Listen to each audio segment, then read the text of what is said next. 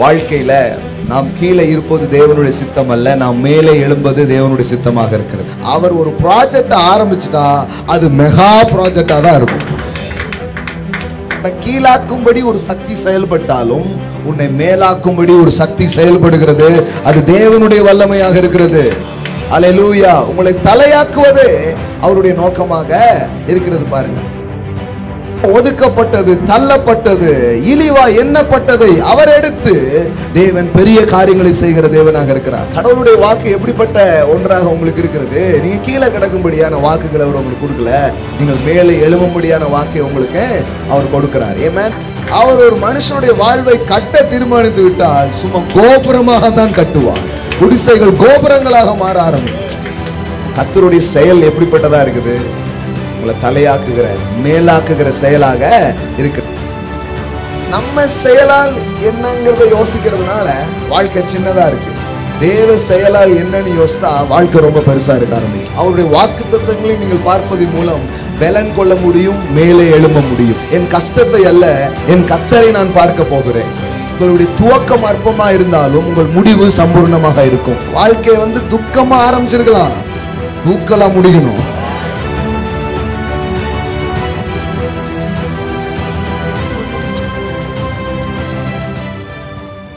Thank you Jesus கத்தர் நல்லவர். ஏமா பிரைஸ் காட் இந்த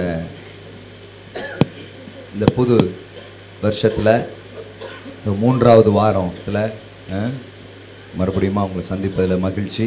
ஸோ முதல் வாரம் இங்கே வந்து ஒரு விஷயத்தை பேசணும். ஃபர்ஸ்ட் வீக் நன்மைகளை நன்மையினால் வருஷத்தை நன்மையினால் தேவன் முடிசூட்டுகிறார். அதை பற்றி பேசணும்.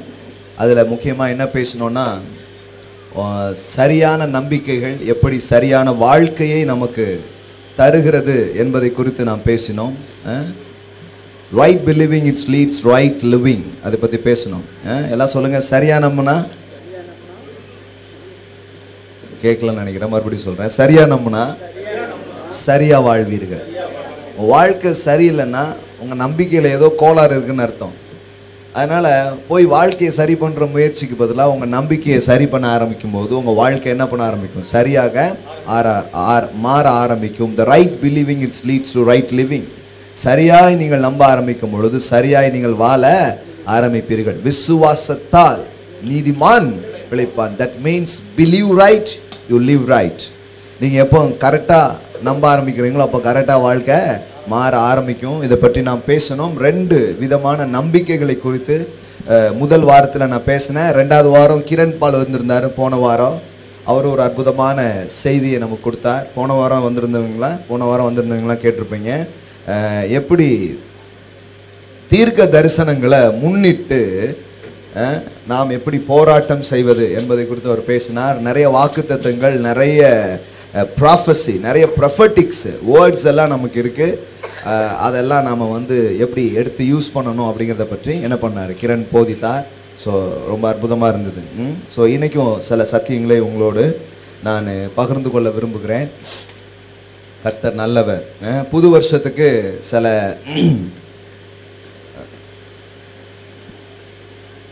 வாக்குத்தத்த வார்த்தைகளை நாம் பெற்றிருக்கிறோம். அதை நாம் போதிக்கிறோம். நைட் அன்னைக்கு காலையில் அதை போ போதித்தேன். ஸோ நேற்றைக்கு இன்றைக்கு காலையில் நான் போதித்தேன். அதுக்கு முந்தின வாரங்கள்லாம் காலை ஆராதனையிலலாம் நான் பேசிகிட்ருக்கிறேன் இருக்கிறேன் அதாவது வாக்குத்தத்தத்தை மையமாக கொண்டு சில போதனைகளை நான் பேசிகிட்ருக்கிறேன் என்ன ப்ராமிஸ் அப்படின்னு சொன்னால் ஏசாயா நாற்பதில் இருக்கிற வார்த்தைகளை நாம் எடுத்து தியானித்து கொண்டிருக்கிறோம். உங்கள் கையில் பைபிள் இருந்ததுன்னா நீங்கள் எடுத்துக்கோங்க. ஏசாயா நாற்பதாவது அதிகாரம் ஐசாயா ஃபார்ட்டி முப்பத்தி ஓராவது வசனம். கத்தருக்கு காத்திருக்கிறவர்களோ புதுபலன் அடைந்து கழுகுகளைப் போல செட்டைகளை அடித்து எழும்புவார்கள். அவர்கள் ஓடினாலும் இலைப்படையார்கள் நடந்தாலும் சோர்ந்து போகார்கள். எல்லாம் சொல்லுங்க ஓடினாலும் இலைப்படையார்கள் நடந்தாலும் சோர்ந்து போகார்கள்.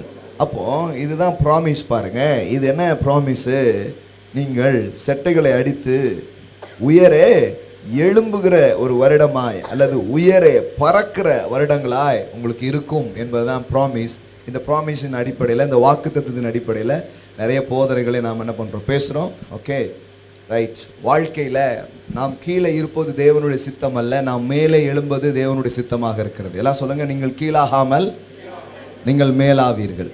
நல்லா சொல்லுங்கள் கீழாகாமல் மேலாவீர்கள். வாலாகாமல் தலையாவீர்கள்.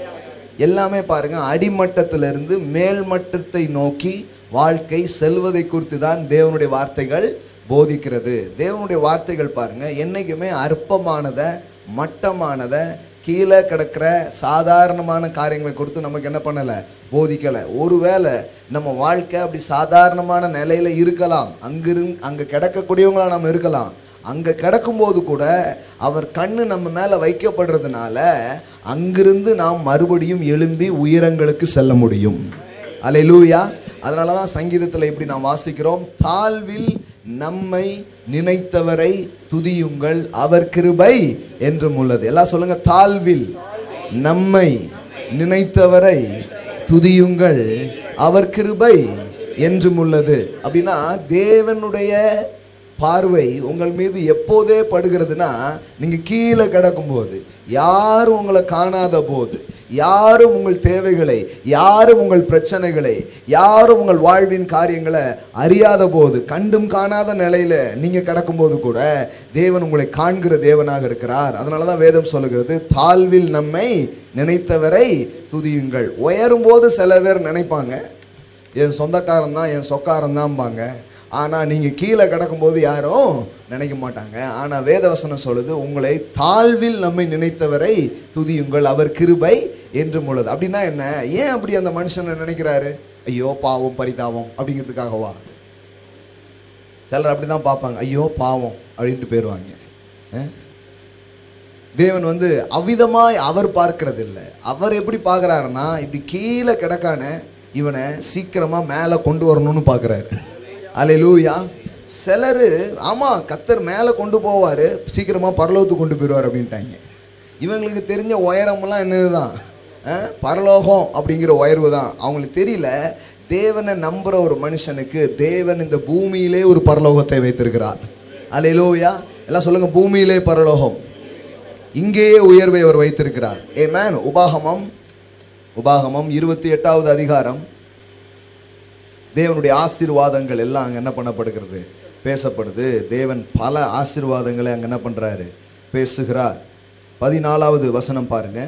இன்று நான் உனக்கு விதிக்கிற உன் தேவனாகிய கத்தரின் கட்டளைகளை கைக்கொள்ளவும் அவைகளின்படி நடக்கவும் அவைகளுக்கு செவி கொடுத்து வந்தால் கத்தர் உன்னை வாலாக்காமல் தலையாக்குவார். நீ கீழாகாமல் மேலாவா எல்லாம் சொல்லுங்க கத்தர் உன்னை வாலாக்காமல் தலையாக்குவா. கீழாகாமல் மேலாவாய். எல்லாம் சொல்லுங்க ஆண்டுடைய வார்த்தையை நான் அறிக்கை செய்கிறேன். நான் வாலாகாமல் தலையாவேன் கீழாகாமல் மேலாவேன். ஏமன் தேவனுடைய வார்த்தை தேவனுடைய ஐடியாவை தேவனுடைய நோக்கத்தை தேவனுடைய பிளானை தேவனுடைய இருதயத்தை கத்தர் உங்களுக்கு என்ன செய்ய முடியும் என்பதை அது உங்களுக்கு கொண்டு வந்து காட்டுகிறது.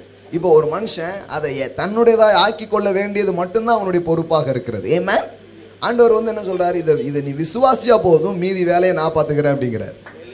லூவியா சிம்பிளாக சொல்றாரு. எத்தனை பேர் இதை விசுவாசிகளா நினைக்கிறீங்க? ஏமேன் நீங்கள் கீழே வாளா இருக்கலாம். தேவன் சொல்றாரு உன்னை நான் தலையாக்குவேன் அப்படிங்கிறார்.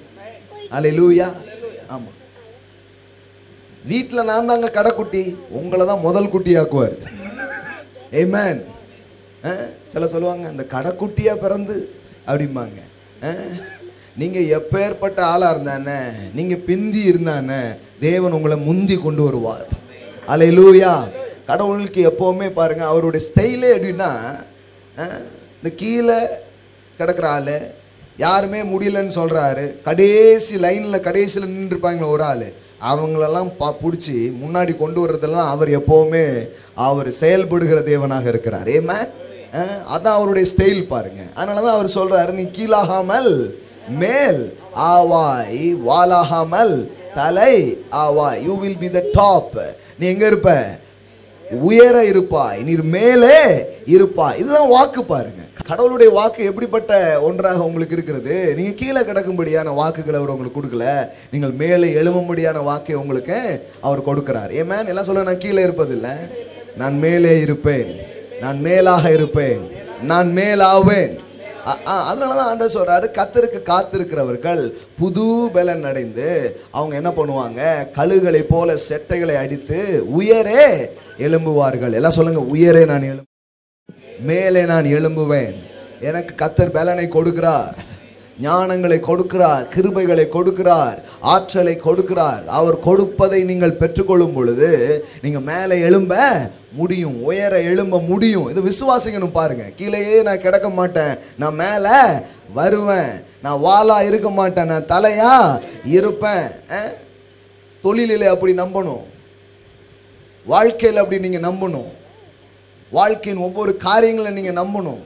நான் இப்படி இருக்க மாட்டேன். கடவுள் என்ன இப்படி வைப்பார் அப்படிங்கிறத நம்பணும் பாருங்க. ஏன்னா கடவுளுடைய வார்த்தை அப்படிப்பட்ட வாக்குகளை தான் கொடுக்கிறது. கத்தர் உன்னை அவரே செய்கிறார் கத்தர் உன்னை வாளாக்காமல் தலையாக்குவார். நீ கீழாகாமல் கத்தருடைய செயல் எப்படிப்பட்டதாக இருக்குது? உங்களை தலையாக்குகிற மேலாக்குகிற செயலாக இருக்கிறது. இதை நம்பணும் பாருங்கள் இது இவர்தான் என்னுடைய தேவன். இவர்தான் என்னுடைய ஆண்டவர். என் ஆண்டவர் எப்படிப்பட்டவராக இருக்கிறார்? என் ஆண்டவருடைய செயல்கள் எப்படிப்பட்டதாக இருக்கிறது? வாழ்க்கையில் கீழே கிடக்கிற மனுஷனெல்லாம் உய்- எடுத்து கொண்டு வந்து மேலே வைக்கிற தேவனாக அவர் இருக்கிறார். ஏ மேன் எனக்கு எப்போவுமே ஒரு ஒரு எண்ணம் உண்டு ஒரு பார்வை உண்டு. அது என்ன? மனிதர்கள் தங்களை யார் என்று தெரிந்து கொள்ளாமல் சாதாரணமான நிலையில் நிற்கிறத பார்க்கும்போது கொஞ்சம் அப்படி கண்ணில் தண்ணி வரும். ஏன்னா ஐயோ இவங்களுக்கு இவங்க யாருன்னே தெரியலையே. இவங்களுக்கு மட்டும் இவங்க யாருங்கிறதையும் இவங்களை உண்டாக்குன தேவன் யாருங்கிறதும் தெரிஞ்சும்னா இவங்க இந்த வாழ்க்கை வாழ மாட்டாங்க. இதை விட சிறந்த வாழ்க்கை அவர்களால் வாழ முடியும். ஏமேன் நம்ம எல்லாருமே பிறக்கும்போது ஒரு பெரிய பின்னணியில் பிறக்கிறது இல்லை. நிறைய பேருக்கு அந்த வாய்ப்பு கிடைக்கிறது இல்லை. ஒருவேளை உங்களுக்கு கிடச்சிருந்தா ஒன்றும் நீங்கள் கவலைப்படாதீங்க. சந்தோஷப்பட்டுக்கோங்க அதை குறித்து.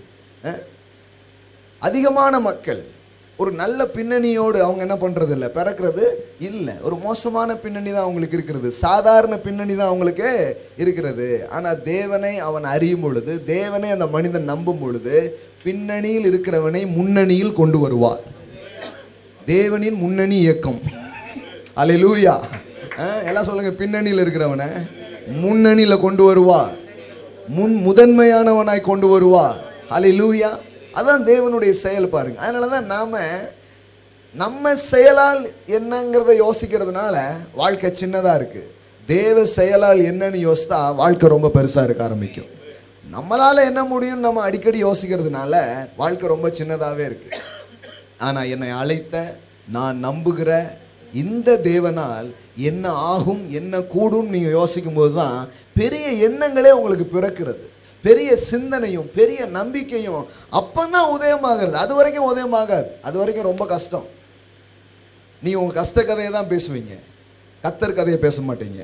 நான் சொல்கிறேன் உங்கள் வாழ்க்கையில் ஒரு ஷிஃப்ட் வரட்டும். உங்கள் பேச்சிலே ஒரு ஷிஃப்ட் வரட்டும். கஷ்ட கதையல்ல கத்தர் கதையை நான் பேச போகிறேன். அல்லேலூயா என் கஷ்டத்தை அல்ல என் கத்தரை நான் பார்க்க போகிறேன்.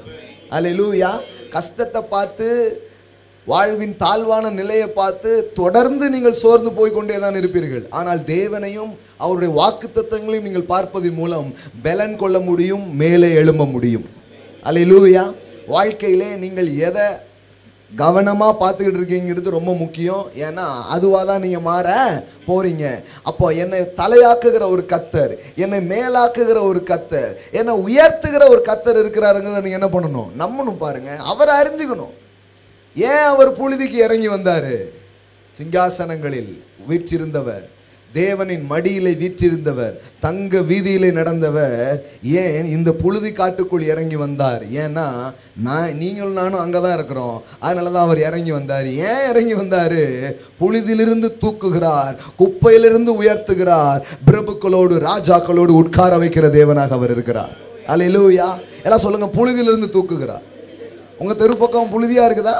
நடக்கும் போதெல்லாம் அதை எண்ணி பாருங்க. கடவுள் என்ன இங்கேருந்து தூக்குகிற கத்தை அலை லூயா குப்பையா இருக்குதா? அங்கேருந்து தான் தூக்குறேங்கிறாரு. அலை லூயா ஆமாம் ஸ்லம் ஏரியாவில் தான் கடவுள் பெருசாக வேலை செய்வார். ஏன்னா குப்பையிலிருந்து தூக்குகிறேன்ங்கிறாரு.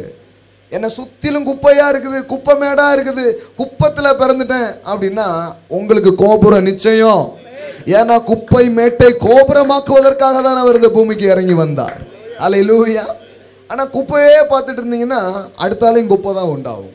ஆனால் குப்பையில் இருக்கும்போது இந்த குப்பையிலிருந்து என்ன ஒருத்தர் உயர்த்துகிறார் இந்த குப்பையிலிருந்து என்ன தூக்குகிற ஒரு தேவன் இருக்கிறாருன்னு உங்கள் உள்ளம் அதை நம்பும் பொழுது உங்கள் இருதயம் அதை நோக்கி பார்க்கும் பொழுது நான் சொல்கிறேன் குப்பையிலிருந்து நீங்கள் உயர்த்தப்படுவீர்கள் புழுதியிலிருந்து நீங்கள் தூக்கப்படுவீர்கள் ராஜாக்களோட பிரபுக்களோட உயர்ந்த ஸ்தானங்களிலே நீங்கள் உட்கார வைக்கப்படுவீர்கள். ஹலோ லூயா கத்தர் உங்களுக்காக உயர்ந்த ஸ்தானங்களை வைத்திருக்கிறார். மேலான இடங்களை அவர் வைத்திருக்கிறார். நல்ல நல்ல அரேஞ்ச்மெண்ட் அவர் என்ன பண்றார்? வைத்திருக்கிறார். சில சொல்றாங்க இந்த உலகத்துல அப்படி முன்னேற முடியுமா பிரதர் இந்த உலகத்துல அதுக்கெல்லாம் வந்து வாய்ப்பு இருக்கா? அதுக்கு ரெண்டு பெரிய ஆட்களை தெரிஞ்சாதான் முடியும் அப்படிங்காங்க. நான் சொல்றேன் பெரிய தேவனை அறிந்தால் முடியும். தூங்கிட்டீங்க பார்த்தீங்களா அதான் திருப்பி சொல்றேன். எல்லாம் சொல்லுங்க பெரிய ஆட்கள் அல்ல பெரிய தேவனை அறிந்தால் முடியும். அலை லூயா பெரிய ஆட்கள்லாம் அவங்களே யாராவது தயவு செய்வாங்கன்னு நினச்சிட்டு இருக்காங்க. பெரிய ஆட்கள் கதைலாம் ஒன்றும் அவ்வளோ நல்ல கதை கிடையாது. கிட்ட போய் பார்த்தீங்கன்னா அவங்க நாற்காலியை பிடிச்சிட்டு இருக்காங்க. எவனா எழுஞ்சிருவானா அப்படின்னு. பெரிய ஆள்கள் பூரம் தூங்குறதே கிடையாது. வெளியில் பேர் தான் பெரிய ஆள் இன்னுமா இந்த ஊர் நம்மளை நம்புது அப்படின்னு நடந்துக்கிட்டே இருக்காங்க. இதுதான் பெரிய ஆட்கள் கதை அதனால் பெரிய தேவனை நம்புங்க. அவர்தான் ராஜாக்களை ஏற்படுத்துகிறவர். ராஜாக்களை தள்ளி ராஜாக்களை ஏற்படுத்துகிற தேவன் அவர். பாருங்க தானியல் உடைய வாழ்க்கையை நீங்கள் பார்க்கும் பொழுது தானியல் எப்படி இருக்கிறான்னா ஒரு அடிமையாக கொண்டு போகப்படுகிறான் ஒரு தேசத்துக்கு. ரொம்ப சாதாரணமான நிலையில் நிலையில வாழ்க்கை துவங்குகிறது. வாலிப வயதிலேயே ஒரு சாதாரணமான நிலையில் அவனுடைய வாழ்க்கை துவங்குகிறது. அங்கே நிறைய ராஜா இருக்கிறாங்க. பலவிதமான மன்னர்கள் இருக்கிறாங்க. ஒருத்தர் மேலே ஒருத்தர் ஆட்சிக்கு வந்துக்கிட்டு போயிட்டே இருக்கிறாங்க. ஆனால் வேத வசனத்தை நீங்கள் பார்த்தீங்கன்னா இந்த தானியல் ஒரு முக்கியமான காரியங்கள் அவனுடைய வாழ்க்கையில் இருக்கிறது. அது அவன் வாழ்வை உயர்த்துகிறது. அது என்ன காரியம்? நீங்கள் பாருங்கள் தானியல் பதினோராவது அதிகாரம் முப்பத்தி ரெண்டாவது வசனத்தை நீங்கள் வாசித்து பார்த்தீங்கன்னா தானியல் ஒரு அற்புதமான வார்த்தையை அங்கு குறிப்பிடுங்க பதினொன்று முப்பத்தி ரெண்டு எப்படி இருக்கு? பின்பகுதி தங்கள் தேவனை அந்த வார்த்தையிலேருந்து பாருங்கள். தங்கள் தேவனை அறிந்திருக்கிற ஜனங்கள் திடன் கொண்டு அதற்கு ஏற்றபடி செய்வார்கள். அதாவது பதினொன்று முப்பத்தி ரெண்டினுடைய பின்பகுதி அதை பாருங்க. அந்த பின்பகுதியில் என்ன போட்டிருக்கு? தங்கள் தேவனை. எல்லாம் சொல்லுங்க தங்கள் தேவனை. அறிந்திருக்கிற ஜனங்கள் திடன் கொண்டு அதற்கு ஏற்றபடி செய்வார்கள். பாருங்க நீங்க எந்த ஊர்ல இருக்கிறீங்க? எந்த அரசாட்சிக்கு கீழே இருக்கிறீங்க? இதெல்லாம் வந்து உங்கள் வாழ்க்கையின் தலையெழுத்தை முடிவு பண்ணுகிற ஒரு காரியம் அல்ல. தேவனை நீங்கள் அறிந்திருக்கிற அந்த அறிவு தான் உங்கள் வாழ்க்கை முறையை முடிவு செய்கிற ஒரு காரியமாக இருக்கிறது. ஏமேன் பாத்துலப்பா சொல்லுங்க தேவனை அறிந்து கொள்ளுங்கள். ஏமேன்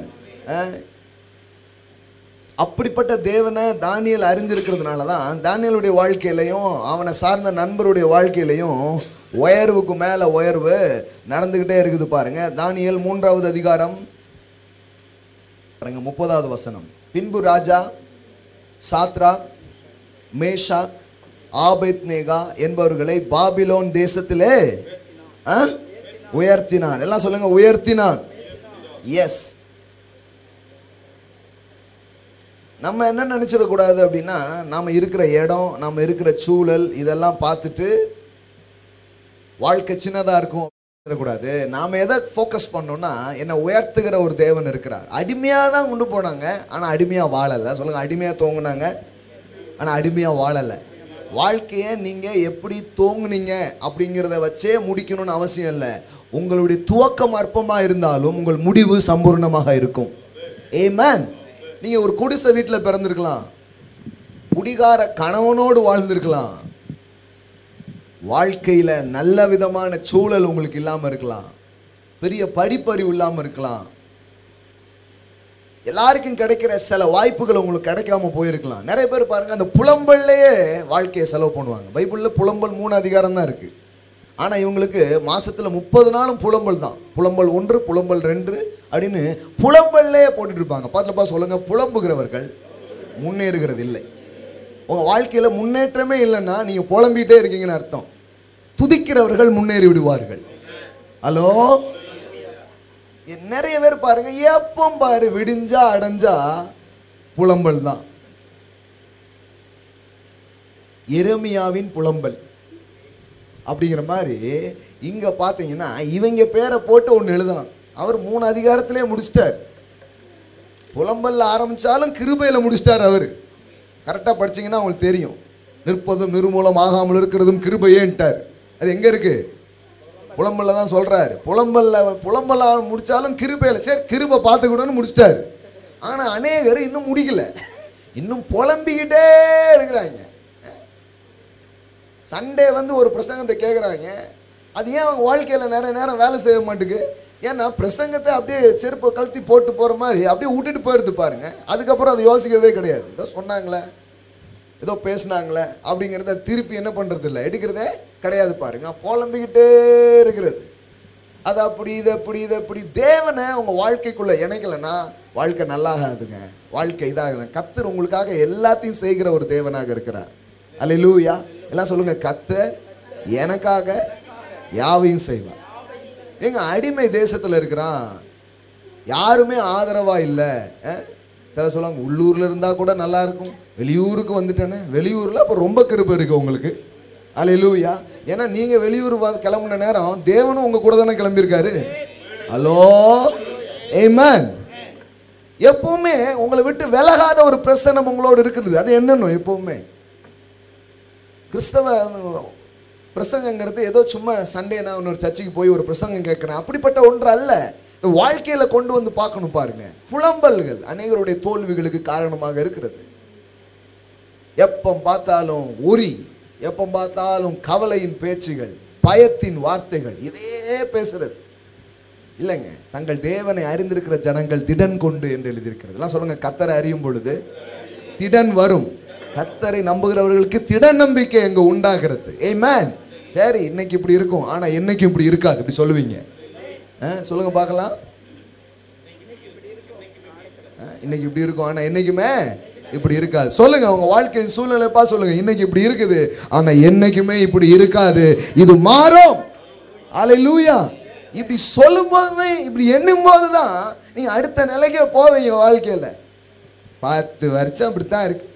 ம், இந்த வருஷம் மட்டும் மாறிடுமா? வா அப்படிங்கிறது. அப்புறம் எப்படி அது மாறும் மாறாது. தை பிறந்தா என்ன? ஜனவரி பிறந்தா என்ன? நீங்கள் நீங்க ஒழுங்கா மறுபடியும் பிறந்தாலாம் வாழ்க்கை மாறும். உங்க மனசு புதுசாலானா வாழ்க்கை மாறும். சில பேர் பாருங்க டிசம்பர் முடிஞ்சு ரெண்டாயிரத்தி பதினெட்டு அப்படின்னு எல்லாம் சரியாருன்னு நினைக்கிறாங்க. சாவலையே. அப்படி ஆகாது. உங்க எண்ணங்களிலும் சிந்தனைகளிலும் உங்கள் நம்பிக்கைகளிலும் சில மாற்றங்களை கொண்டு வரணும். என்ன மாற்றம் கொண்டு வரணும்? இந்த புலம்பல் கேஸாக நான் இருக்க மாட்டேன். நான் வந்து கத்தரை அறிஞ்சு கத்தரை நம்பி கத்தரோடு கூட சேர்ந்துக்கிட்டு நான் வாழ்க்கையை பார்க்க போகிறேன் இப்பொழுது இருக்கிறதை பார்க்கிலும் ஆயிரம் மடங்கு பெருகும்படி தேவனனை ஆசிர்வதிப்பார். அல்ல லூயா எத்தனை பேர் சொல்ல முடியும்? இப்போது இருக்கிறத பார்க்கிலும் ஆயிரம் மடங்கு நான் பெருகும்படியாய் தேவனனை ஆசிர்வதிப்பார். வாழ்க்கையில் கத்தரை சேர்த்துக்கோங்க கத்தரை இணைத்துக் கொள்ளுங்கள் உங்கள் வாழ்க்கையோடு. இணைச்சிக்கிட்டு கொஞ்சம் புலம்புங்க. புலம்புகள் வராது. ஐயோ இவ்வளோ பெரிய ஆளை வச்சுக்கிட்டு எப்படி புலம்ப? எல்லாம் மாறும் அப்படிம்பீங்க.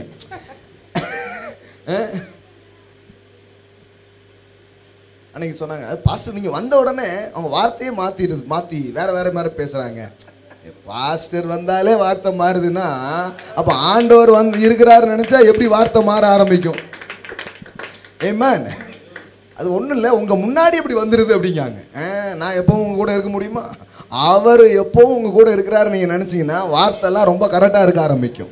அலை லூயா புலம்பலின் வார்த்தைகள் இருக்காது நம்பிக்கைகள் வார்த்தைகள் இருக்கும். நல்ல நல்ல வார்த்தைகளை நீங்கள் என்ன பண்ண ஆரம்பிப்பீங்க? பேச ஆரம்பிப்பீங்க பாருங்க. ஆ? அடிமையாக ஆரம்பிக்கிறார்கள். எங்கே ஆரம்பிச்சா என்ன?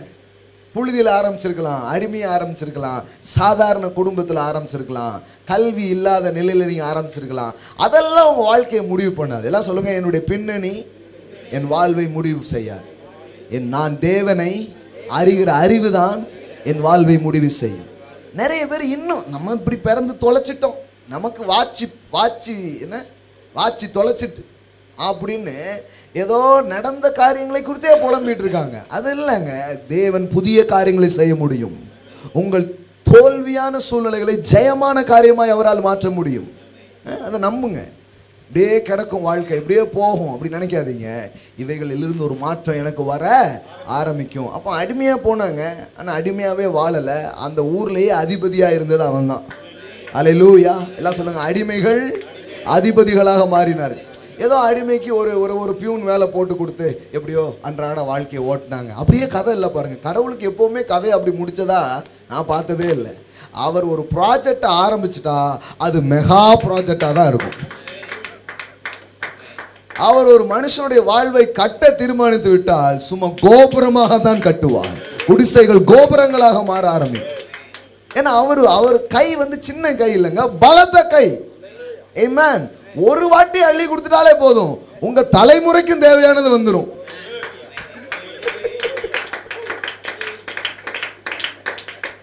அவ்வளோ பெரிய கைங்க. அது செயல்பட்டா எப்பேற்பட்ட காரியம் இருக்கும் வாழ்க்கையில்? அதான் ஒரு கதை சொல்லுவாங்க பாருங்க. ரொம்ப ஒரு ஃபேமஸான கதை. நம்ம ரொம்ப அவ்வளோவா கதை சொல்கிறது இல்லை பாருங்க. ஏன்னா வசனம் சொல்கிறதுக்கே டைம் கரெக்டாக இருக்குது ஒரு சின்ன பிள்ளைக்கு வந்து ஒரு கடைக்காரரு ஏதோ சாக்லேட் கொடுத்தாராம். இந்த குழந்தை வாங்கவே சாரி சாக்லேட் எடுத்துக்கோன்னு இவர் கொடுத்தாராம் பாட்டில் அது வே எடுக்கவே மாட்டேன்னுச்சான் அந்த குழந்தை சொல்லிச்சான் நீங்கள் எடுத்து தாங்க அங்கிள்ச்சான் ச்சே என்ன ஒரு பணிவு இந்த பிள்ளைக்கு? அப்படின்னு சாக்லேட் என்ன பண்ணுறாரு அள்ளி என்ன பண்ணாரு? கொடுத்தாரு. அது இப்படியே பாவடையை வச்சு இப்படி பிடிச்சிக்கிட்டு. ஏன்னா முடி சாக்லேட் இருந்தது. ஏம்மா நீனே எடுக்கல? என் கை சின்ன கையில? நான் எடுத்தேன்னா அஞ்சு தான் வரும். அதனால உங்கள் கையை கை எடுத்து தரும்படி நான் காத்திருந்தேன் அப்படின்னு என்ன விவரம் பாருங்க. இந்த விவரம் மட்டும் நமக்கு ஆவிக்குரிய வாழ்க்கையில் இருக்கும்னா இல்லை என்னங்க அந்த கை பெரிய கையுங்க அள்ளி தருகிற கை ஒரு முறை எடுத்து கொடுத்தாலே போதும்.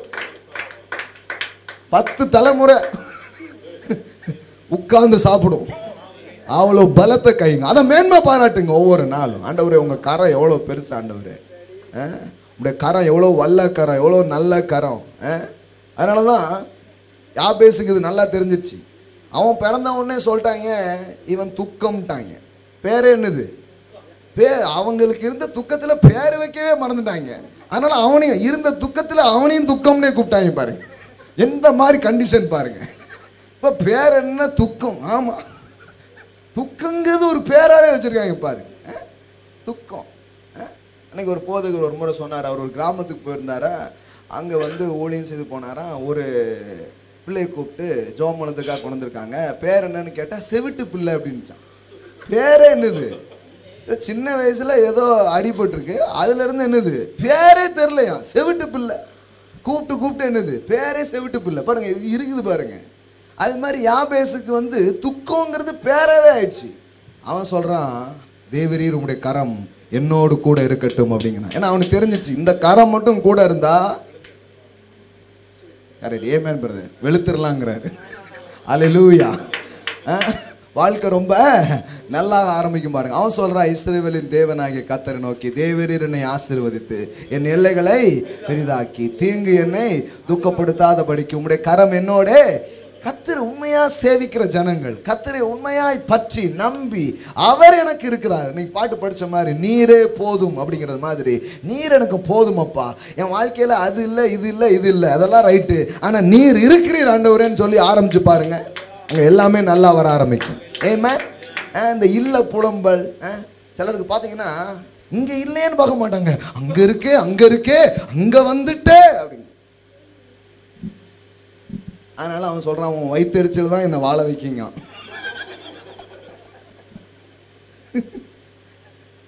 போகக்கூடாது. தப்பான ஆவி பாருங்க. நாங்கள் எப்படி வாழ்க்கையை ஆரம்பித்தோம் வாழ்க்கையில் உயர்ந்த நிறைய பேர் வாழ்க்கை எப்படி ஆரம்பித்தாங்க போய் அவங்ககிட்ட போய் கேளு. இந்த இல்ல புலம்பெல்லாம் கிடையாது. இது கிடையவே கிடையாது. இது ஒரு நாளும் அந்த தரித்திரத்துக்கு நான் ஓட்டு போட்டதே கிடையாது. குறைவோடு நான் ஒத்து போனதே கிடையாது. ஒவ்வொரு நாளும் நான் சொல்கிற காரியம் என்ன? நீ என் வாழ்க்கையில் ரொம்ப நாள் இருக்க மாட்ட. அலை லூயா நீ இல்லாத ஒரு நாளை நான் காண்பேன். அலை லூயா என் வாழ்க்கையை விட்டு இந்த தாழ்வு இந்த குறைவு இந்த பற்றாக்குறை நீங்கும். எஸ் உம்முடைய கரம் என்னோட இருக்கட்டும். அவன் பார்த்துட்டான். என் துக்கத்தை மாத்துறதுக்கு ஒரே வழி அந்த கரம் தான் இப்போ வாழ்க்கையின் பின்னணி வந்து பின்னணியிலே பின்னி கிடக்கக்கூடாது. அதுலேருந்து வெளியில் வரணும் பாருங்க. நல்ல பின்னணி அடிமை அடிமைகளாக போனவர்கள் துக்கத்திலே வாழ்கிறவர்கள் நல்ல பெற்றோர்கள் இல்லாதவர்கள் நல்ல கல்வி அறிவை பெறாதவர்கள் கிராமத்தில் இருக்கிறவங்க சில சொல்கிறாங்க நாங்கள் வந்து கிராமத்தில் இருக்கிறோம் ஐயா. இருந்தான்னு கிராமங்களில் இருந்தாலும் பட்டணங்களில் இருந்தாலும் கடவுள் உங்களுடைய ஆசீர்வாதம் உங்கள் வாழ்க்கையில் இருக்கும்போது உயர்வு நிச்சயங்க. இன்னும் கரெக்டாக சொன்னால் பட்டணங்களை விட கிராமத்தில் தான் நிறைய ஆசீர்வாதம் இருக்குது. அந்த வெளிச்சம் நமக்கு வராதனால நம்ம என்ன பண்ணிட்டு இருக்கோம்? புலம்பல் பாடிக்கொண்டிருக்கிறோம். இல்லை. புலம்பலை தூக்கி போடணும். கிடையாது. கத்தர் எனக்காக ஒரு காரியத்தை செய்வா நான் அதை நம்புறேங்கிறது உயர்வை கொண்டு வர ஆரம்பிக்குது பாருங்க. தானியல் வந்து உயர்த்தப்பட்டு கொண்டே போகிறான். நண்பர்கள் உயர்த்தப்படுகிறார்கள். தானியல் ஆறாம் அதிகாரம் பாருங்க. இருபத்தி எட்டாவது வசனம் பாருங்க. தரியுவின் ராஜ்யபார காலத்திலும் பெர்சியனாகிய கோரேசனுடைய ராஜ்யபார காலத்திலும் தானியலின் காரியம் ஜெயமாய் இருந்தது. எல்லாம் சொல்லுங்க தானியலின் காரியம் ஜெயமாக இருந்தது ஐயோ இந்த காலத்தில் நம்ம பிறந்துட்டோமேன்னு காலத்து மேலே சிலர் பழியை போடுறது. எப்படி பாருங்க? தரியுவின் காலம் பெர்சியனாகிய கோரசனுடைய காலம். எந்த காலமாக இருந்தானே? தானியலின் காரியம் எப்படி இருக்குது? ஜெயமாக இருந்ததுன்னு எழுதப்பட்டிருக்கிறது. ஏமேன் எல்லாம் சொல்லுங்க ஜெய கிறிஸ்து முன் செல்கிறார் ஜெயமாக நடத்திடுவார். ஏமேன் வாழ்க்கை ஜெய வாழ்க்கையாக மாறும். அடிமைன்னா உங்களுக்கு நீங்கள் லேஸ்பட்ட காரியம் இல்லைங்க. அவங்க சுதந்திரமாக எந்த முடிவும் எடுக்க முடியாது. அவன் கொடுக்குறது தான் சாப்பிடணும். அவன் இருக்கிற இடத்துல தான் இருக்கணும். அந்த மாதிரியான ஒரு வாழ்க்கை. ஆனால் உள்ளத்திலே தேவனை அறிந்து தேவனை சேவித்து கொண்டே இருக்கிற அவர்கள் சாதாரணமானவர்களா இல்லை. அந்த பட்டணத்திலே அந்த மாகாணங்களிலே ஏன்? அந்த எல்லா அரசாட்சியிலையும் தானியலும் அவங்க நண்பர்களும் தான் டாப்பில் இருந்தாங்க. அலெலூயா நீ கீழாகாமல் மேலாவாய். உன்னை கீழாக்கும்படி ஒரு சக்தி செயல்பட்டாலும் உன்னை மேலாக்கும்படி ஒரு சக்தி செயல்படுகிறது. அது தேவனுடைய வல்லமையாக இருக்கிறது. அல்லேலூயா உங்களை தலையாக்குவதே அவருடைய நோக்கமாக இருக்கிறது பாருங்க. அப்போ இந்த மாதிரி இதெல்லாம் எடுத்துட்டு சும்மா வந்து விட்டுறக்கூடாது இது இதை உள்ளத்துக்குள்ள ஆழமாக வைக்கணும். எப்படி இப்படி கீழே அடிமையாக இருந்தானே? சாதாரணமான ஆளாக இருந்தானே? பைபிள் ஃபுல்லாக நீங்கள் பாருங்கள் என்ன கதை இருக்குது இதில்? நல்ல பின்னணி கிடையாது நல்ல ஒரு பேக்ரவுண்ட்ஸ் கிடையாது. சில நீங்கள் சொல்கிறாங்க பாருங்கள் பேக்ரவுண்டு நல்ல பேக்ரவுண்ட் இருந்தால் தான் பிரதர் முன்னேற முடியும். உலக மனிதர்களே நீங்கள் போய் பாருங்கள் உலகத்தில் கூட கொஞ்சம் நல்லா ஒரு ஆட்கள்லாம் பாருங்கள் அவங்க கூட சொல்கிறாங்க இப்படிலாம் இருந்தது ஒரு கஞ்சிக்கே இல்லாமல் இருந்தோம் தெரு விளக்குலேருந்து இருந்து கடைசியில் பார்த்தா பெரிய முதலமைச்சர் ஆகிட்டோம் அது ஜனாதிபதி ஆகிட்டோம்லாம் என்ன பண்ணுறாங்க சொல்கிறாங்க ஆப்ரகாம்லாம் தெரு விளக்கில் உட்காந்து படிச்சாராம் ம்? ஒரு பையன்ட்ட ஒரு அப்பா சொல்லியிருக்கிறார் டேய் உன் வயசுலலாம் ஆபிரகாம் லிங்கன் தெருவிளக்கில் உட்காந்து படிச்சாருடா நீ என்னடா அப்படி விளையாண்டு இதை அப்படின்னு இருக்கிறார் அதுக்கு அவன் கேட்டானா உங்கள் வயசில் அவர் ஜனாதிபதி ஆகிட்டார நீ நீங்க ஏன் அப்படியே இருக்கிறீங்க? அப்படின்னானா. பேச முடிய மாட்டுக்கு பாருங்க. பெரிய பெரிய ஆட்கள்லாம் பாருங்க விளக்கு. விளக்கே கிடையாது. சாதாரணமான விளக்கு வெளிச்சத்தில் படித்தாங்க ஆ?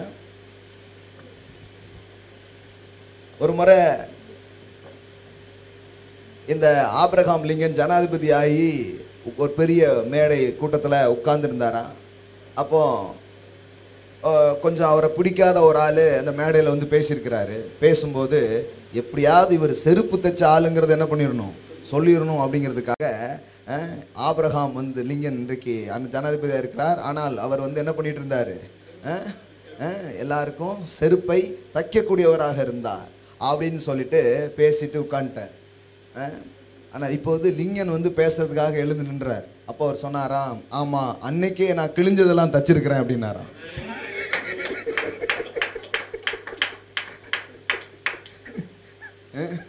அற்பங்கிறது உங்கள் பார்வையில் தான் இருக்குதுங்க. ஆ எப்படி பாருங்க? கதைகள்லாம் பாருங்க. செருப்பு தச்சிட்டு இருந்த ஒரு ஆள் ஜனாதிபதி ஆக முடியுதுன்னா அந்த ஆபிரகாம் லிங்கன் இந்த வேதாகமத்தின் தேவனை நம்பினவர் என்பதை நீங்கள் அறிந்து கொள்ள வேண்டும். அலையலூயா. ஏப்ரஹாம் லிங்கன் இதை நம்பினார். நூற்றுக்கு நூறு சதவீதம் கத்தரை நம்பின ஒரு தலைவராக அவர் இருந்தார் பாருங்க. அதனால தான் செருப்பு தைச்சிட்டு இருக்க ஆளு ஜனாதிபதியாக மாறிட்டார். அவர் ஜனாதிபதி ஆன உடனே முத முதல்ல சொன்ன போ போட்ட முக்கியமான சட்டங்களில் ஒன்று என்னென்னா மனிதர்கள் யாரும் அடிமையாக இருக்கக்கூடாது அப்படிங்கிறது தான் ஏன்னா தேவ மனிதர்கள் உயரும் பொழுதுதான் தேவ திட்டத்தை இந்த பூமியில் நிறைவேற்ற முடியும். அலை லூயா அதனால தான் இங்கே இருக்கிற ஒவ்வொருத்தருக்குள்ளேயும் அந்த விதையை நான் போட்டுட்டு இருக்கிறேன் இந்த சபைக்குள்ளே வர்ற எல்லாருக்குள்ளேயும் ஒரு விதையை நான் போட்டுக்கிட்டே இருக்கிறேன். சும்மா இருக்கக்கூடாது. எழுமணும் பட்டணமே பார்க்குற மாதிரி நல்லா வந்துடணும்னு சொல்லி கொடுத்துட்டு இருக்கிறேன் அல்லேலூயா நீங்கள் அதை நம்பணும். நீங்களும் அதை விசுவாசிங்க. அது உங்கள் வாழ்க்கையில் நடக்கும். கடவுளுடைய மகிமைக்காக நான் அந்த பூமியில் வாழ போகிறேன். இன்னைக்கு தாழ்வாக இருக்கலாம் இன்னைக்கு கஷ்டமாக இருக்கலாம் இன்னைக்கு சாதாரணமான காரியங்களுக்காக ஏங்கிட்டு இருக்கலாம். ஒரு நல்ல ட்ரெஸ்ஸு போடுறது கனவாக இருந்த நாட்கள் எவ்வளோ இருந்திருக்குது. ஆனால் கடவுள் ஒரு மனுஷனை ஆசீர்வச்சு உயர்த்தும் போது நான் சொல்ல ஒவ்வொரு நாளுமே புது கூட நீங்கள் உடுத்த முடியும். அலை லூயா நானும் அதை பார்த்துட்டே தான் இருக்கிறேன். இந்த வருஷம் ஆரம்பிச்சதுலேருந்து பார்த்தீங்கன்னா ஞாயிற்றுக்கிழமை தோறும் புது ட்ரெஸ் போடுறேன். எவ்ரி சண்டே ஒரு நியூ ட்ரெஸ் போடுறேன். கா நான் எடுத்து எடுத்து போட்டுட்டே இருக்கிறேன் அது காலியாக மாட்டேங்குது அடுத்தால கிஃப்ட்டுன்னு வந்துடுது. ஹலோ சரி சட்டை தான் புதுசாக போடுறவன் டிஷர்ட் போட்டால் அந்த டிஷர்ட்டும் கிஃப்ட் வந்திருக்குங்க அப்படிங்காங்க ஹலோ இது புகையிற மாதிரி வாட வருது. இல்லையா? அந்த மாதிரி ஒன்றும் இல்லையா? அது அங்குள்ள புகைச்சல் தானே. வேற எங்கேயும் இல்லைல்ல. ஏமன் அலை லூயா கத்தர் நல்லவருங்க. உடுத்தி விற்கிற கத்தருங்க. நீங்கள் நீங்கள் வந்து நமக்கு என்னன்னா இந்த நம்ம இதை அந்த அளவுக்கு சீரியஸாக எடுக்கிறது இல்லை இதை. அதனால தான் நம்ம சீரியஸ் ஆயிடுறோம். இது மேலே ஐயோ இப்படி ஒரு தேவன் இருக்கிறார் இப்படிப்பட்ட ஒரு வாழ்க்கை இருக்குன்னு அதை பார்க்கணும். பாருங்க வச்சிப்புக்குன்னு வரீங்க இங்கே சட்டநாதன் எங்கே போகிறான்னு தான் பார்த்துட்டு இருக்கீங்க. ஒரு கவனம் இல்லை பாருங்க. ஐயோ அவன் அவன் வேலையை பார்க்குறான். நீங்கள் எதுக்கு வந்திருக்கீங்க? அவர் ஆராதிக்க அவரை உயர்த்த. நீங்கள் வந்த வேலையை தான் பார்க்கணும். அவன் இங்கே ஆயிரம் வேலை நடக்கும். நீங்கள் உங்கள் கண்ணை வச்சு மனதார அவரை ஆராதிக்க. அவங்க என்ன போதிக்கிறாங்க அதை நல்லா கேட்டு பாருங்கள் நோட்லாம் கொண்டு வந்து என்ன பண்ணுறாங்க எழுதுறாங்க பாருங்க. நல்லா முன்னாடி உட்காந்துருக்க ஆட்கள்லாம் நல்லா எழுதுறார்கள். பின்னாடி உட்காந்துருக்கீங்களா அங்கே. எல்லாம் நோட்ஸ் எடுக்காங்க. எதுக்கு? நல்லா இதை என்ன பண்ணும் ஆழமாக கற்றுக்கணும் அப்படின்னு சொல்லிட்டு எடுக்கிறாங்க. இதெல்லாம் இதுதான் இதில் கவனம் செலுத்தணும். ஒரு சீரியஸ்னஸ் தேவை. வெறும் ஞாயிற்றுக்கிழமை நீங்கள் கேட்குறது மட்டும் இல்லை. அத்தில் போய் ஒரு ஒரு ஐம்பது ரூபா செலவு பண்ணீங்கன்னா ஒரு சீடி கிடைக்கும். ஆமாம் அவங்க செலவு பண்ணுற காசை தான் நீங்கள் கொடுக்குறீங்க. அதை கொண்டு போய் போட்டு அப்படி கொஞ்சம் கேட்கணும் பாருங்கள் எனக்கு ரொம்ப பிஸியாக இருக்கேன் பிரதர் நேரமே எனக்கு இல்லை. ஆமாம் வட்டி கட்டுறதுக்கே நேரம் கரெக்டாக இருக்குல்ல? அஹ், கடன்காரனுக்கு பதில் சொல்கிறதுலே நேரம் கரெக்டாகிருது இதுக்கு நேரம் இல்லை. நான் சொல்கிறேன் இதை கேளுங்க. பொண்ணு வெளி உங்களுக்கு உண்டாகிறத நீங்கள் பார்ப்பீங்க. செழிப்பு உங்களுக்கு வர்றதை நீங்கள் பார்ப்பீங்க. அலையிலூயா ஆமாம் எத்தனையோ முறை நான் அதை சொல்லியிருக்கிறேன். திருப்பி திருப்பி அதை ஏன் சொல்கிறேன்னா எத்தனை முறையும் அப்படி போய் தான் வர முடியுங்கிறதுனால தான் திருப்பி திருப்பி சொல்லிகிட்டு இருக்கிறேன். ஏ மேன் ஒரு நல்ல போதனை சிடி நான் வாங்கினேன். கேட்கணும் அப்படின்னு சொல்லிட்டு. ரொம்ப நல்ல ஒரு பிரசங்கம் அது. அதை திருப்பி திருப்பி கேட்கணும்னு எனக்கு ஒரு ஆசை. நல்லா போதிச்சிருந்தாங்க அந்த போதனை. ஆனால் டேப் ரெக்கார்டு இல்லை அதை கேட்குறதுக்கு. கேசட் வாங்கிட்டேன் விசுவாசத்தில். ஆனால் என்ன இல்லை? டேப் ரெக்கார்டு இல்லை. அப்போ உங்கள் ஊரில் ஒரு சார் இருந்தாங்க பாருங்கள் ஆர்தர் சார் அப்படின்னு சொல்லிட்டு எங்கள் ஆழ்வார்த்த நகரியில் அவங்ககிட்ட வந்து அவங்க வீட்டுக்கு போய் அந்த டேப் ரெக்கார்டில் நான் வந்து அதில் போட்டு நானும் அந்த சார் உட்காந்து கேட்போம். நல்லா இருக்க சேகர் அப்படிம்பாங்க. சிலர் அவங்க போய் தூங்க போயிடுவாங்க நான் உட்காந்து என்ன பண்ணிகிட்டே இருப்பேன்? கேட்டுகிட்டே இருப்பேன். ஏன்னா அன்றைக்கி வேறு வேலை இல்லை. வேறு வேலைங்கிறதுக்காக சும்மா இருக்கக்கூடாது. வசனத்தை நல்லா கேட்போம் அப்படின்னு கேட்டேன். ஏ மேன் இன்னைக்கு நிறைய வேலை இருந்தாலும் வசனத்தை கேட்குறத விட்டுறதில்ல ஹலோ?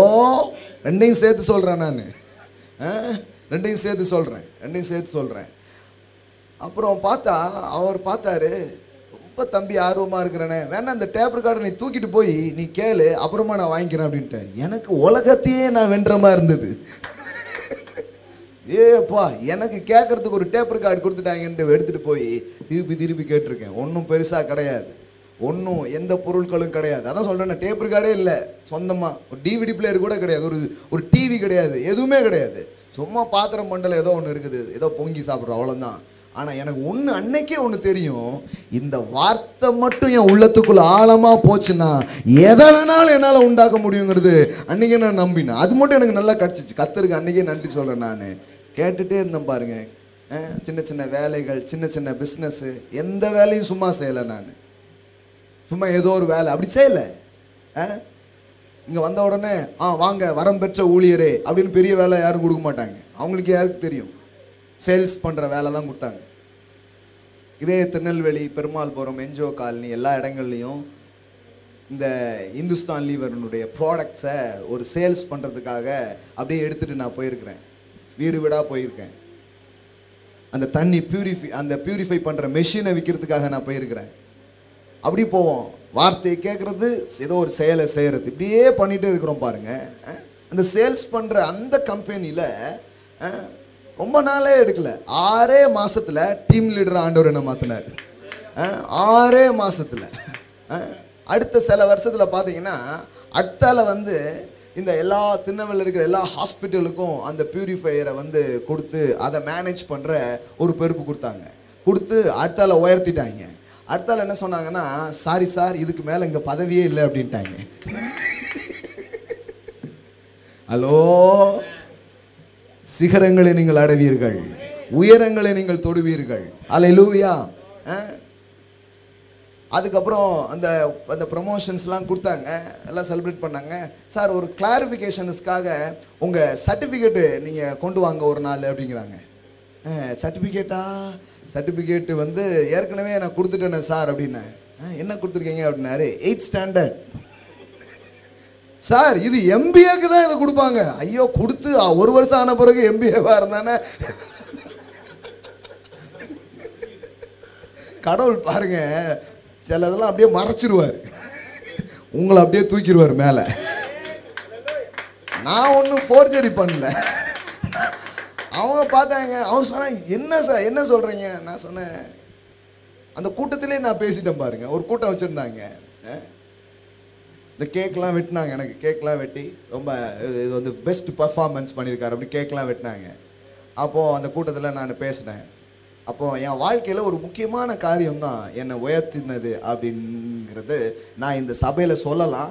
ஆனால் இது வந்து கம்பெனி மீட்டிங்கிறதுனால நான் இப்போ சொல்ல முடியாது அப்படின்னு முடிச்சிட்டேன். உடனே அவர் சொல்லிட்டார் ஆ எதுவாக இருந்தாலும் சொல்லுங்கன்ட்டார். இதுக்காக தானே நானே சொன்னது. எனக்கு தெரியும். ஒரு ட்விஸ்ட் வச்சோம்னா ஏதாவது என்ன பண்ணுவாங்க? கேட்பாங்கன்னு தெரியும் பாருங்க. சொல்லாம்ல சொல்லலாம்ல சார்? சொல்லான்ட்டு. நல்லா பதினஞ்சு இருபது நிமிஷம் இயேசுவை பற்றி பேசிட்டேன். ஏன்னா நான் வேண்டான்னு சொல்லி சொல்லுன்னு சொன்னதுக்கப்புறம் அவர் ஒன்றும் சொல்ல முடியல பாருங்க. அப்படியே உட்காந்துருக்கிறாரு நான் சொன்னேன் ஒன்றுமே இல்லை. ரொம்ப கஷ்டப்பட்டுட்டு இருந்தேன். சரியான ஒரு பின்னணி எனக்கு இல்லை. என்னை ஆதரிக்க என்னை தூக்க யாருமே இல்லை. ஆனால் என்னை தேடி ஒரு தெய்வம் வந்தது. அவர் பெயர் இயேசு. அவரை நம்பினதினால் அவரை விசுவாசித்ததால் இன்னைக்கு நான் வாழ்ந்திருக்கிறேன் பிழைத்திருக்கிறேன். அதுதான் காரியமாக இருக்கிறது பாருங்க. ஏமேன் அப்படியே அப்படியே ஆயிட்டாங்க. அவர் சொன்னார் சார் நாங்கள் மீட்டிங் முடிச்சுட்டு போடலாம்னு நினச்சோம். மூடே போயிடுச்சு சார் அப்படின்ட்டான். உண்மையிலே சொல்கிறேன் நான். ஐயோ நான் போய் வீட்டில் போய் தூங்க போகிறேன் அப்படின்ட்டான் அந்த ஆள்.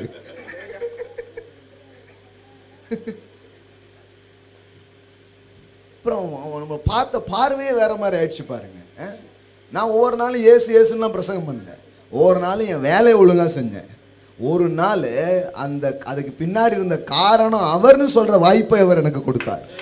அல்லேலூயா இதுக்கு இதெல்லாம் கொஞ்சம் கொஞ்சம் அப்படிலாம் சொல்கிறோன்னா நீங்கள் ஆபிரகாம் லிங்கன்னா யார் பிரதர் பார்த்ததுமீங்க ஆபிரகாமையும் நான் பார்த்தது தானியெல்லாம் அது யாரு?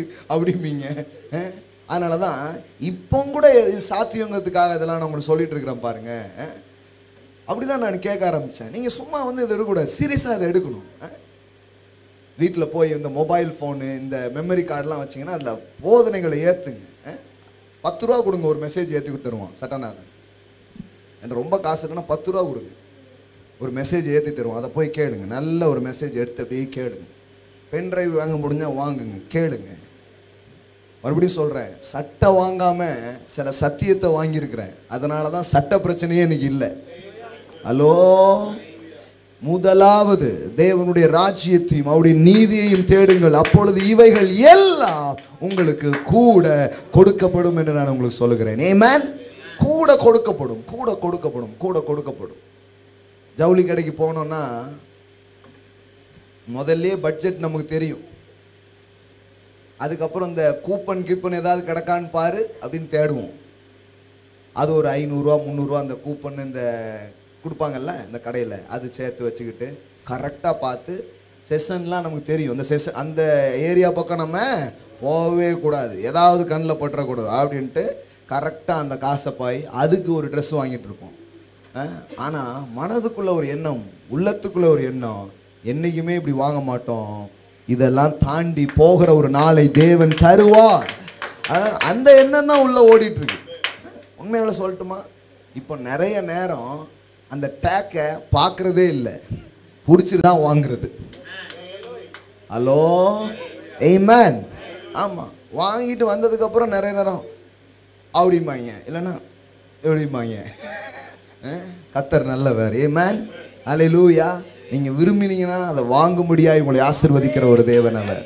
லூயா ஆமாம் அதெல்லாம் பார்த்து அது மாதிரி ஹோட்டலில் போய் எவ்வளோ இந்த சைடில் ரேட்டை தான் ஐட்டமே பார்க்குறது இல்லை. முதல்ல ரேட்டை பார்ப்போம். டக்குன்னு தான். இந்த ஐட்டம் நல்லா இருக்குமே. ஏன்னா அதுதான் முப்பது ரூபா. மெனு கார்டை எடுத்து எது நல்ல டிஷ்ஷு நமக்கு பிடிக்கும் அது பார்க்கறதே இல்லை. மெனு கார்டு கொடுத்த உடனே முதல்ல அப்படியே பரட்டுறது. அதெல்லாம் நல்லா இருக்காது. ஏன்னா ரேட்டு கூட. ஆனால் இப்போ அப்படி இல்லை பாருங்க. என்ன வேணுமோ அது சொல்கிறது சாப்பிட்றது இப்போ நம்ம போனாலே பருமாறத்துக்கு ஒருத்தன் ஓடி வருவான். ஏன்னா இன்னைக்கு நமக்கு நூறுரூவா நிச்சயம்னு அவனுக்கு தெரியும் பாருங்க. நம்ம நம்ம அன்னைக்கு சாப்பிட்ட காசை இன்னைக்கு டிப்ஸாக கொடுக்குற மாதிரி தேவன் நம்ம வாழ்க்கையை ஆசீர்வதித்திருக்கிறார். அல்லேலூயா எங்கேயோ கோபுரங்கள் இருந்து வந்தவர்களின் கதையை நான் பேசவில்லை. வாழ்க்கையின் சாதாரண காரியங்களுக்காக ஏங்கின கதையிலிருந்து ஏக்கங்களை எல்லாம் நிறைவேற்றின கதையை நான் உங்களுக்கு பேசி கொண்டிருக்கிறேன். கத்தர் நல்லவர் அவர் கிருபை என்றும் உள்ளது. ஒரு உண்மையுள்ள தேவன். உள்ளத்தை தயார்படுத்தணும். ஏன் இப்படி தான் கத்தர் இருக்கிறார். இப்படி தான் செய்கிறார். ஏழ்மையும் தரித்திரத்தையும் வாழ்க்கையின் பின்னணியையும் காரம் சோறலக்கூடாது பாருங்க. உலக பணக்காரர் பில்கேட்ஸு அவர் சொல்கிறாரு ஒரு மனுஷன் இந்த உலகத்தில் ஏழையாக பிறந்தது அவன் தவறு அல்ல. ஆனால் ஏழையாவே மறித்தால் அது அவன் தவறை அன்றி வேறொரு தவறும் அல்ல அப்படிங்கிறார். அலையிலூயா. அதாவது பாருங்க பிறந்ததுனால ஒன்றும் தப்பு இல்லை. ஆனால் முடிக்கும் போது பிரமாதமாக முடிக்கணும். அலையிலூயா. ஏமேன் வாழ்க்கை வந்து துக்கமாக ஆரம்பிச்சிருக்கலாம். தூக்கலாக முடிக்கணும். ஏமேன் மகிழ்ச்சியாக முடிக்கணும். ஏந்திர விதத்தில் வாழ்க்கை ஆரம்பிச்சிருக்கலாம். ஆனா வாரி இறைத்தான். அவன் நீதி என்றைக்கும் நிற்கும் என்று சொல்லுகிறபடி வாழ்க்கையை நீங்கள் முடிக்க வேண்டும். ஏமேன் எஸ் இதெல்லாம் இதெல்லாம் உள்ளத்துக்குள்ள போட்டு உங்கள் சிந்தனையிலே நீங்கள் செல்வந்தராகுங்கள். உங்கள் நம்பிக்கையிலே செல்வந்தராகுங்கள். அப்புறம் பாருங்க வாழ்க்கை செழிக்காம இருக்கவே இருக்காது. வாழ்க்கை ரொம்ப அற்புதமா போக ஆரம்பிக்கும். ஏமேன் எனக்கு ஒரு வேலை கிடைக்குமா என்று எண்ணிக்கொண்டிருந்தேன். இன்றைக்கு நாலு பேருக்கு நான் வேலை கொடுத்து கொண்டிருக்கிறேன். சீக்கிரமாய் நாற்பது சீக்கிரமாய் நானூறு சீக்கிரமாய் நாலாயிரம். ஏமேன் நடக்கும். கத்தரை நம்புகிறவனோ செழிப்பான். ஏமேன் அலை லூயா உங்க விசுவாசத்தை நீங்க தான் தூண்டணும். உங்க விசுவாசத்தை நீங்க தான் தட்டி எழுப்பணும். கத்தருடைய வார்த்தைகளை கொண்டு அதை நீங்க செய்யணும் பாருங்க. இந்த காத்திருத்தல் அப்படின்னா வேற ஒன்றும் கிடையாது. உள்ள விசுவாசத்தை சேகரிக்கிற நேரங்களாக அது இருக்கிறது. என்ன கடவுளுடைய வார்த்தை சொல்றது விசுவாசிக்கிறவனுக்கு எல்லாம் கூடும். எல்லாம் சொல்லுங்க எல்லாம் கூடும். ஏமேன் நம்மகிட்ட முதலீடு இல்லையே பிரதர் நம்மக்கிட்ட காசு இல்லையே பிரதர் இந்த இல்லையேங்கிற கதை நீங்கள் பேசிய போதே தரித்திரத்தை இழுத்து பிடிக்கிறீங்கன்னு அர்த்தம். இல்லை கத்தர் உண்டாக்குவார். சீக்கிரமாக எனக்கு ஒரு பதில் வரும். சீக்கிரமாக சில காரியம் வாழ்க்கையில் நடக்கும். ஆண்டவர் ஏதோ எனக்கு ஒன்று செய்வார். கண்ணெல்லாம் இப்படி பார்த்து பார்த்து நீங்கள் பழகுனீங்கன்னா நான் சொல்கிறேன் வாழ்க்கை ரொம்ப தூரம் நீங்கள் போக முடியும். ரொம்ப அற்புதமான வாழ்க்கையாக மாற முடியும் பாருங்க. மனிதர்கள் உங்களுக்கு என்ன பெருசாக பண்ணிட முடியும்? பசிச்சா ஒரு நேரம் சாப்பாடு வாங்கி தருவாங்க. அடுத்த நேரத்துக்கு என்ன பண்ணுவீங்க? இப்படியே பழகக்கூடாது வாழ்க்கையை. கத்தாவே என் கண்கள் உங்களை நம்பட்டும். என் உள்ள உண்மை நம்பட்டும். நீர் எனக்கு செய்யும். நீர் என்னை உடுத்துவியும். நீர் என்னை போசியும். நீர் என்னை உயர்த்துன்னு உள்ளங்களை அவர் மேலே பதிய பண்ணி பாருங்க. நான் சொல்கிறேன் வாழ்க்கை உயரும். எல்லாம் சொல்லுங்க பொழுதிலிருந்து தூக்குகிறார். குப்பையிலிருந்து உயர்த்துகிறார். பிரபுக்களோடு ராஜாக்களோடு உட்கார வைக்கிற தேவனாக அவர் இருக்கிறார். ஏமேன் பிரைஸ் காட் கடைசியாக ஒரு வசனம் வாசிக்கலாம். ஒன்று நாளாகமம் இருபத்தி ஒன்பதாவது அதிகாரம். பதினோராவது வசனத்திலிருந்து பாருங்க. கர்த்தாவே மாட்சிமையும் வல்லமையும் மகிமையும் ஜெயமும் மகத்துவமும் உம்முடைய வைகள். வானத்திலும் பூமியிலும் உள்ளவைகளெல்லாம் உம்முடையவைகள் கர்த்தாவே ராஜ்யம் உம்முடையது. தேவரீர் எல்லாருக்கும் தலைவராய் உயர்ந்திருக்கிறீர். பனிரெண்டாவது வசனம் கவனிங்க. ஒன்று நாளாகமோ இருபத்தி ஒன்பது பனிரெண்டு வாசிக்கிறேன். ஐஸ்வர்யமும் கனமும் உம்மாலே வருகிறது. தேவரீர் எல்லாவற்றையும் ஆளுகிறவர். உம்முடைய கரத்திலே சத்துவமும் வல்லமையும் உண்டு. எவரையும் மேன்மைப்படுத்தவும் பலப்படுத்தவும் உம்முடைய கரத்தினால் ஆகும். ஏமன் எல்லாம் சொல்லுங்க. எவரையும் மேன்மைப்படுத்தவும் பலப்படுத்தவும் உம்முடைய கரத்தினால் அதனால தான் அவர் கரத்தில் உங்களை கொடுங்கன்னு சொல்கிறது ஏன்னா அந்த கரத்தால் எவரையும் மேன்மைப்படுத்த பலப்படுத்த ஆகும். நீங்கள் படிச்சிருக்கீங்க படிக்கல உங்கள் அதான் சொல்லிட்டேன் உங்கள் பின்னணியே யோசிச்சுட்டு இருக்காதீங்க. நெட்டையா இருக்கிறேன் கட்டையாக இருக்கிறேன் அஹ்? சொல்கிறார் கொஞ்சம் வளர்த்தி கட்டையாயிடுச்சு இல்லைன்னா போலீஸ் வேலைக்கு போயிருப்பேன் அப்படிங்க கட்டையாக இருந்தால் கலெக்டராகவே ஆக முடியும் தெரியுமா உங்களுக்கு? போலீஸே வேலை வாங்குற கலெக்டராக நீங்கள் ஆக முடியும். ஹலோ? அழகு கொஞ்சம் கம்மியாயிட்டு நான் அழகு போட்டியில் சேர்ந்துருப்பேன் அப்படிங்காங்க நான் சொல்கிறேன் அழகு போட்டியில் சேர்வதுக்கு தான் அழகு. ஆனால் அழகுகளை தேர்வு செய்கிற குழுவினராக மாறுறதுக்கு அழகு தேவையில்லை. இவங்க தான் அழகு இவங்க தான் அழகு இல்லைங்கிற குழுவானராக நீங்கள் மாற முடியும். சும்மா சாக்கு சொல்லக்கூடாது பாருங்க எதையாவது. கட்டையாயிட்டேன் நெட்டையாயிட்டேன் ஆ? ஏதாவது சொல்றது. கடவுள் பாருங்க சாக்கு சொல்றதுல அவர் ரொம்ப பிரியம் இல்லை. அவர் விசுவாசத்துல தான் அவருக்கு பிரியமா இருக்கிறது. எல்லாம் சொல்லுங்க சாக்குகளில் பிரியப்படுகிற தேவன் அல்ல. விசுவாசத்தில் பிரியப்படுகிறார். பைபிள் ரொம்ப அழகா சொல்லுது ஃபெய்த் ப்ளீசஸ் காட் விசுவாசம் தேவனை பிரியப்படுத்துகிறது. ஏன்னா விசுவாசங்கிறது வேற ஒன்றும் இல்லை. கண்ட காரியங்கள்ல பார்த்து சோர்ந்து போறதை விட்டுட்டு கடவுள் எனக்காக செய்வார்னு ஒரு இருதயம் அவரை நம்புவதை அவர் ரொம்ப பெரிய விஷயமாக பார்க்கிறார். அல்லேலூயா அது எவ்வளோ அழகா போட்டிருக்குது பாருங்க. எவரையும் எந்த மனிதனையும் மேன்மைப்படுத்த பலப்படுத்த உம்முடைய கரத்தினால் ஆகும். பாருங்க. எத்தனையோ கோடிகளை தாவிது தேவனுடைய ஆலயத்திற்காக கொட்டி கொடுக்குறான். அந்த சம்பவம் தான் இது. இந்த இருபத்தி ஒன்பது வீட்டில் போய் வாசித்து பாருங்க. கோடி கோடியாக நான் பணங்களை செல்வங்களை தேவனுடைய ஆலயம் கட்டுவதற்காக கொட்டி கொடுக்குறான். அப்போ தான் இந்த வார்த்தையை சொல்கிறான் ஆண்டவரே ஆடு மேய்ச்சிக்கிட்டு இருந்தேன். ஆனால் இப்போ எனக்கு எவ்வளோ நீர் கொடுத்துருக்கிறீர்? அப்படிங்கிறான். அப்போ என்ன? சாதாரணமான ஒரு ஆளாக இருந்தான். ஒரு ஆட்டுக்காக கரடி கிட்ட சண்டை போட்டிருக்கான் பாருங்கள் ஒரு ஆட்டுக்காக சிங்கத்திட்ட சண்டை போட்டிருக்கான். ஒரு ரூபா காயின் விழுந்தா சிலர் உருண்டு தேடுவாங்க பார்த்துருக்கீங்களா?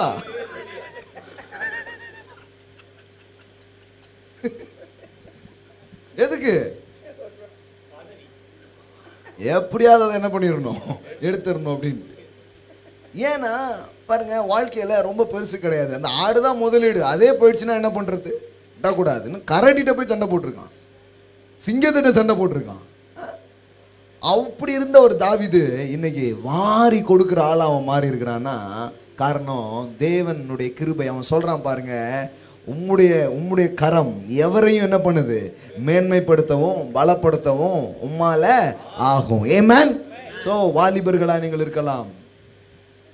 வாழ்க்கையின் ஆரம்பத்தில் நீங்கள் இருக்கலாம். யாராக வேணாலும் இருக்கலாம். ஆனால் உங்கள் உள்ளத்தில் இன்னைக்கு ஒரு தீர்மானத்தை கொண்டு வாங்க. உள்ளத்தில் ஒரு நம்பிக்கையை கொண்டு வாங்க. என்ன நம்பிக்கை? ஆண்டவரே நீர் வாளாக்காமல் தலையாக்குகிற தேவன் கீழாக்காமல் மேலாக்குகிற தேவன் உங்களை நான் நம்புறேன் ஆண்டவரே நீர் என்னை உயர்த்தக்கூடியவர். அப்படின்னு உங்கள் உள்ளத்தை அவர் மேலே சாய பண்ணி பாருங்க. நீங்கள் நினச்சி கூட பார்க்காத வாழ்க்கையை அவர் உங்களுக்கு தருவார். லூயா உயர்வின் வாழ்வை உங்களுக்கு தருவார். உங்களுக்கு மட்டுமல்ல உங்கள் சந்ததிக்கே அவர் தருவார். ஏமேன் நீங்கள் நான் யோசித்து பார்க்கேன். இந்த சத்தியம்லாம் எனக்கு கிடைக்கலன்னா எங்கேயோ நான் கிடந்திருப்பேன். தெரியும் சட்டை தைச்சிட்டு இருந்திருப்பேன். ஏன்னா அதான் தைச்சிக்கிட்டு இருந்தேன். இன்றைக்கு வாழ்க்கை வேற மாதிரி போயிருக்கு உலகத்தில் பல நாடுகளுக்கு போகிறதுக்கு அழைப்பு வெயிட்டிங்ல இருக்குது.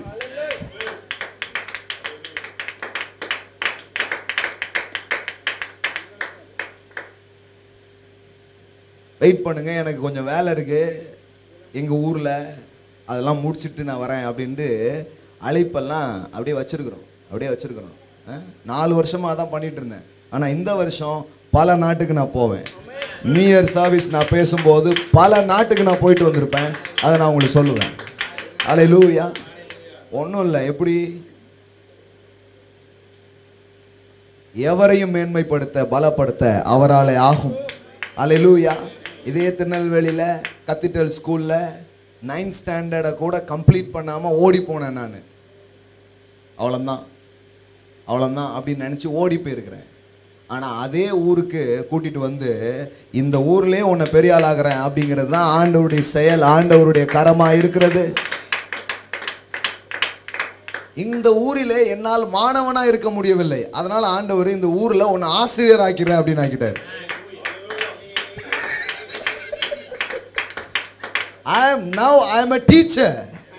Teacher of God's word word. லூயா அது மட்டும் இல்லை இந்த ஊரில் தான் முந்நூறு நானூறு டீச்சர்ஸுக்கு எப்படி மாணவர்களுக்கு சிறந்த முறையில் பாடம் இருப்பதுங்கிறத நான் நடத்தியிருக்கிறேன் பாடம். ஐயோ அவர் செஞ்சாருன்னா நீங்கள் இது பண்ண தாங்க முடியாது உங்களால. அந்த மாதிரி அள்ளி திணிப்பாருங்க அவர். மனசை திறங்க உள்ளத்தை திறங்க தேவன் வல்லவர் நல்லவர் ஒரு பெரியவர் எனக்காக எதையும் செய்யக்கூடியவர். உள்ளத்துல இந்த விசுவாச எண்ணம் கொழுந்து விட்டு இருந்ததுன்னா மேலே வந்துடும் வா- வாழ்க்கை புலம்பாதீங்க. மறுபடியும் சொல்கிறேன் நான். உரி புலம்பல் கவலை எரிச்சல் கோவம் இதிலே வாழாதீங்க. இதெல்லாம் உங்கள் எனர்ஜியை பிளாக் பண்ணக்கூடியது. இதெல்லாம் உங்கள் எனர்ஜியை கீழே கொண்டு வருது. அதெல்லாம் அதை பண்ணி யாரும் ஒன்றும் பெருசு பண்ணதில்லை. ஆனால் தேவனை விசுவாசித்து சாதித்தவர்கள் தான் இருக்கிறார்கள். எல்லாம் சொல்லுங்கள் அவரை விசுவாசித்து சாதிக்க முடியும். அல்லேலூயா வேத வசனங்களை வாசிங்க. வே- வேதாகமத்தை மனதார நேசிச்சு படிங்க. அதை தியானியுங்கள் நல்ல ஒரு கேசட் போட்டு கேளுங்க. ஒவ்வொரு நாள் அதை தியானிங்க. தேவனோடு பேசுங்கள் ரொம்ப பெரிய ஆள் ஆயிடக்கூடாது. கடவுளோட பேச முடியாத அளவுக்கு பெரிய ஆள் ஆயிடக்கூடாது. கொஞ்ச நேரம் அவர்கிட்ட உட்காந்து பேசணும். அப்பா இன்றைக்கு எப்படி போச்சு? கொஞ்ச நேரம் உடைய பிரசனத்தில் அமர்ந்து யோசியுங்கள். இந்த நாள் எப்படி போச்சு? தேங்க்யூ ஜீசஸ் இன்னும் நான் நன்றாக போகும்படி உங்களை நான் நம்புகிறேன் நீர் எனக்கு செய்ய வல்லவர். அவரோடு சம்பாதிச்சு பாருங்க. அவரோடு பேசி பாருங்க. தாவிது பாருங்க சொல்கிறான் ராஜாமங்களில் அவர் எனக்கு தியானமாக இருக்கிறார் அப்படிங்கிறான் நிறைய நேரம் படுக்கும்போது உட்காரும்போது இந்த எண்ணம் தான் ஓடிட்டே இருக்குது. ஆண்டவர் இது நான் என்ன நான் நினச்சதே கிடையாது. இந்த மாதிரிலாம் வர முடியும் நினச்சதே கிடையாது. ஆனால் இன்னைக்கு ஒவ்வொரு காரியத்தை யோசிக்கும் போது ஒன் நான் பண்ண ஒன்று ஒன்றும் பெரிய விஷயம் இல்லை. இதெல்லாம் கத்தர் செய்யக்கூடும் என்று நான் நம்பினேன். அவ்வளவுதான். என் தேவனால் இது ஆகும். என் தேவனால் இது சாத்தியம். ஆலை லூயா பைத்தியமானவர்களை கொண்டு சிலருக்கு வைத்தியம் செய்வார். ஹலோ ஏமேன் ஒதுக்கப்பட்டது தள்ளப்பட்டது இழிவா எண்ணப்பட்டதை அவர் எடுத்து தேவன் பெரிய காரியங்களை செய்கிற தேவனாக இருக்கிறார். அலை லூயா நிறைய லீடர்ஸ் கான்ஃபரன்ஸ்லாம் நடத்த போகிறோம் தலை சிறந்த தலைவர்களுக்கு தலைமத்துவ பண்புகளை நாம் கற்றுத்தர போகிறோம். அலையலூயா இந்த பட்டணத்தில் இருக்கிற நிறைய தொழில் செய்கிறவங்களை எடுத்து அவர்களுக்கு வேதாகமத்தின் அடிப்படையில் சிறந்த முறையில் தொழில் செய்வது எப்படிங்கிறத கற்றுத்தர போகிறோம். அலையலூயா நீங்கள் வேணால் பாருங்கள் ரொம்ப பெரிய பைபிள் காலேஜும் ரொம்ப பெரிய யூனிவர்சிட்டியும் கட்டுவோம். அலையலூயா நடக்கும் நடத்தி காட்டுவோம் இந்த ஊரில். அலையலூயா ஏன்னா எவரையும் மேன்மைப்படுத்துகிற தேவன். எவரையும் பலப்படுத்துகிற தேவன். அவருடைய காருண்யம் என்னை பெரியவனாக்கிற்று என்று தாவிது சொல்கிறான் பாருங்க எஸ் அதனால தான் அள்ளி கொடுக்குறான். ஏன்னா அவர் அவனுக்கு அள்ளி கொடுத்தார்.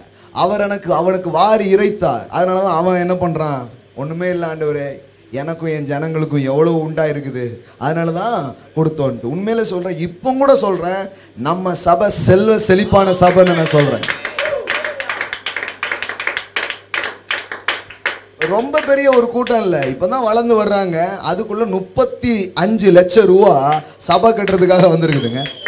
ஒரு ரூபா கூட வெளியில் யார்கிட்டயும் போய் நான் கேட்கல தேர்ட்டி ஃபைவ் லேக்ஸ் வந்திருக்குது நான் சொல்கிறேன் சீக்கிரமாக ரெண்டு கோடி வரும். ஆலை லூயா நாம் எண்ணினபடி விரும்பினபடி அற்புதமான ஆலயங்களை நாம் கட்டுவோம். ஆலையிலூயா கட்டாயமா கட்டுவோம். கட்டாயமா கட்டுவோம். கட்டை அடிக்கலையா? கட்டை அடிக்கிறது இல்லைங்க நாங்கள் கட்டையும் எடுக்கிறது இல்லை கட்டையும் நாங்கள் அடிக்கிறது இல்லை கத்தரை நம்புறது எப்படின்னு எங்களுக்கு தெரியும். வானத்தை திறந்து அவர் கொட்டுவார் எப்படிங்கிறது எனக்கு தெரியும். இடங்கொள்ளாமல் போக மட்டும் நிரப்புகிற தேவனை நான் அறிந்திருக்கிறேன். நிறைய பேருக்கு இது தியாலஜி எனக்கு இது தியாலஜி இல்லை. இட்ஸ் அ ப்ராக்டிக்கல் லிவிங் கத்தரை நம்பினா என்ன வேணாலும் நடக்கும். எங்கெல்லாமோ இருந்து வருது காசு. ஒரே ஒரு பிரசங்கம் கேட்டாங்க ரொம்ப நல்லா இருந்ததுங்க. மூணு லட்சம் அனுப்பிச்சிருக்குங்க அப்படிங்கிறாங்க. ஒரே ஒரு போதனை கேட்டேன் நல்லா இருந்துச்சுங்க. போன வருஷம் ஃபுல்லாக என் பேங்க் ஸ்டேட்மெண்ட்லாம் பாருங்க லட்ச ரூபாய்க்கு கம்மியாக ஆஃபரிங்கே வரல. ஃபுல்லாக லட்சமாக வருது. நான் சொல்லிட்டேன் இந்த வருஷம் லட்சம் இல்லை கோடி. ஓடியே ஓடியே வா.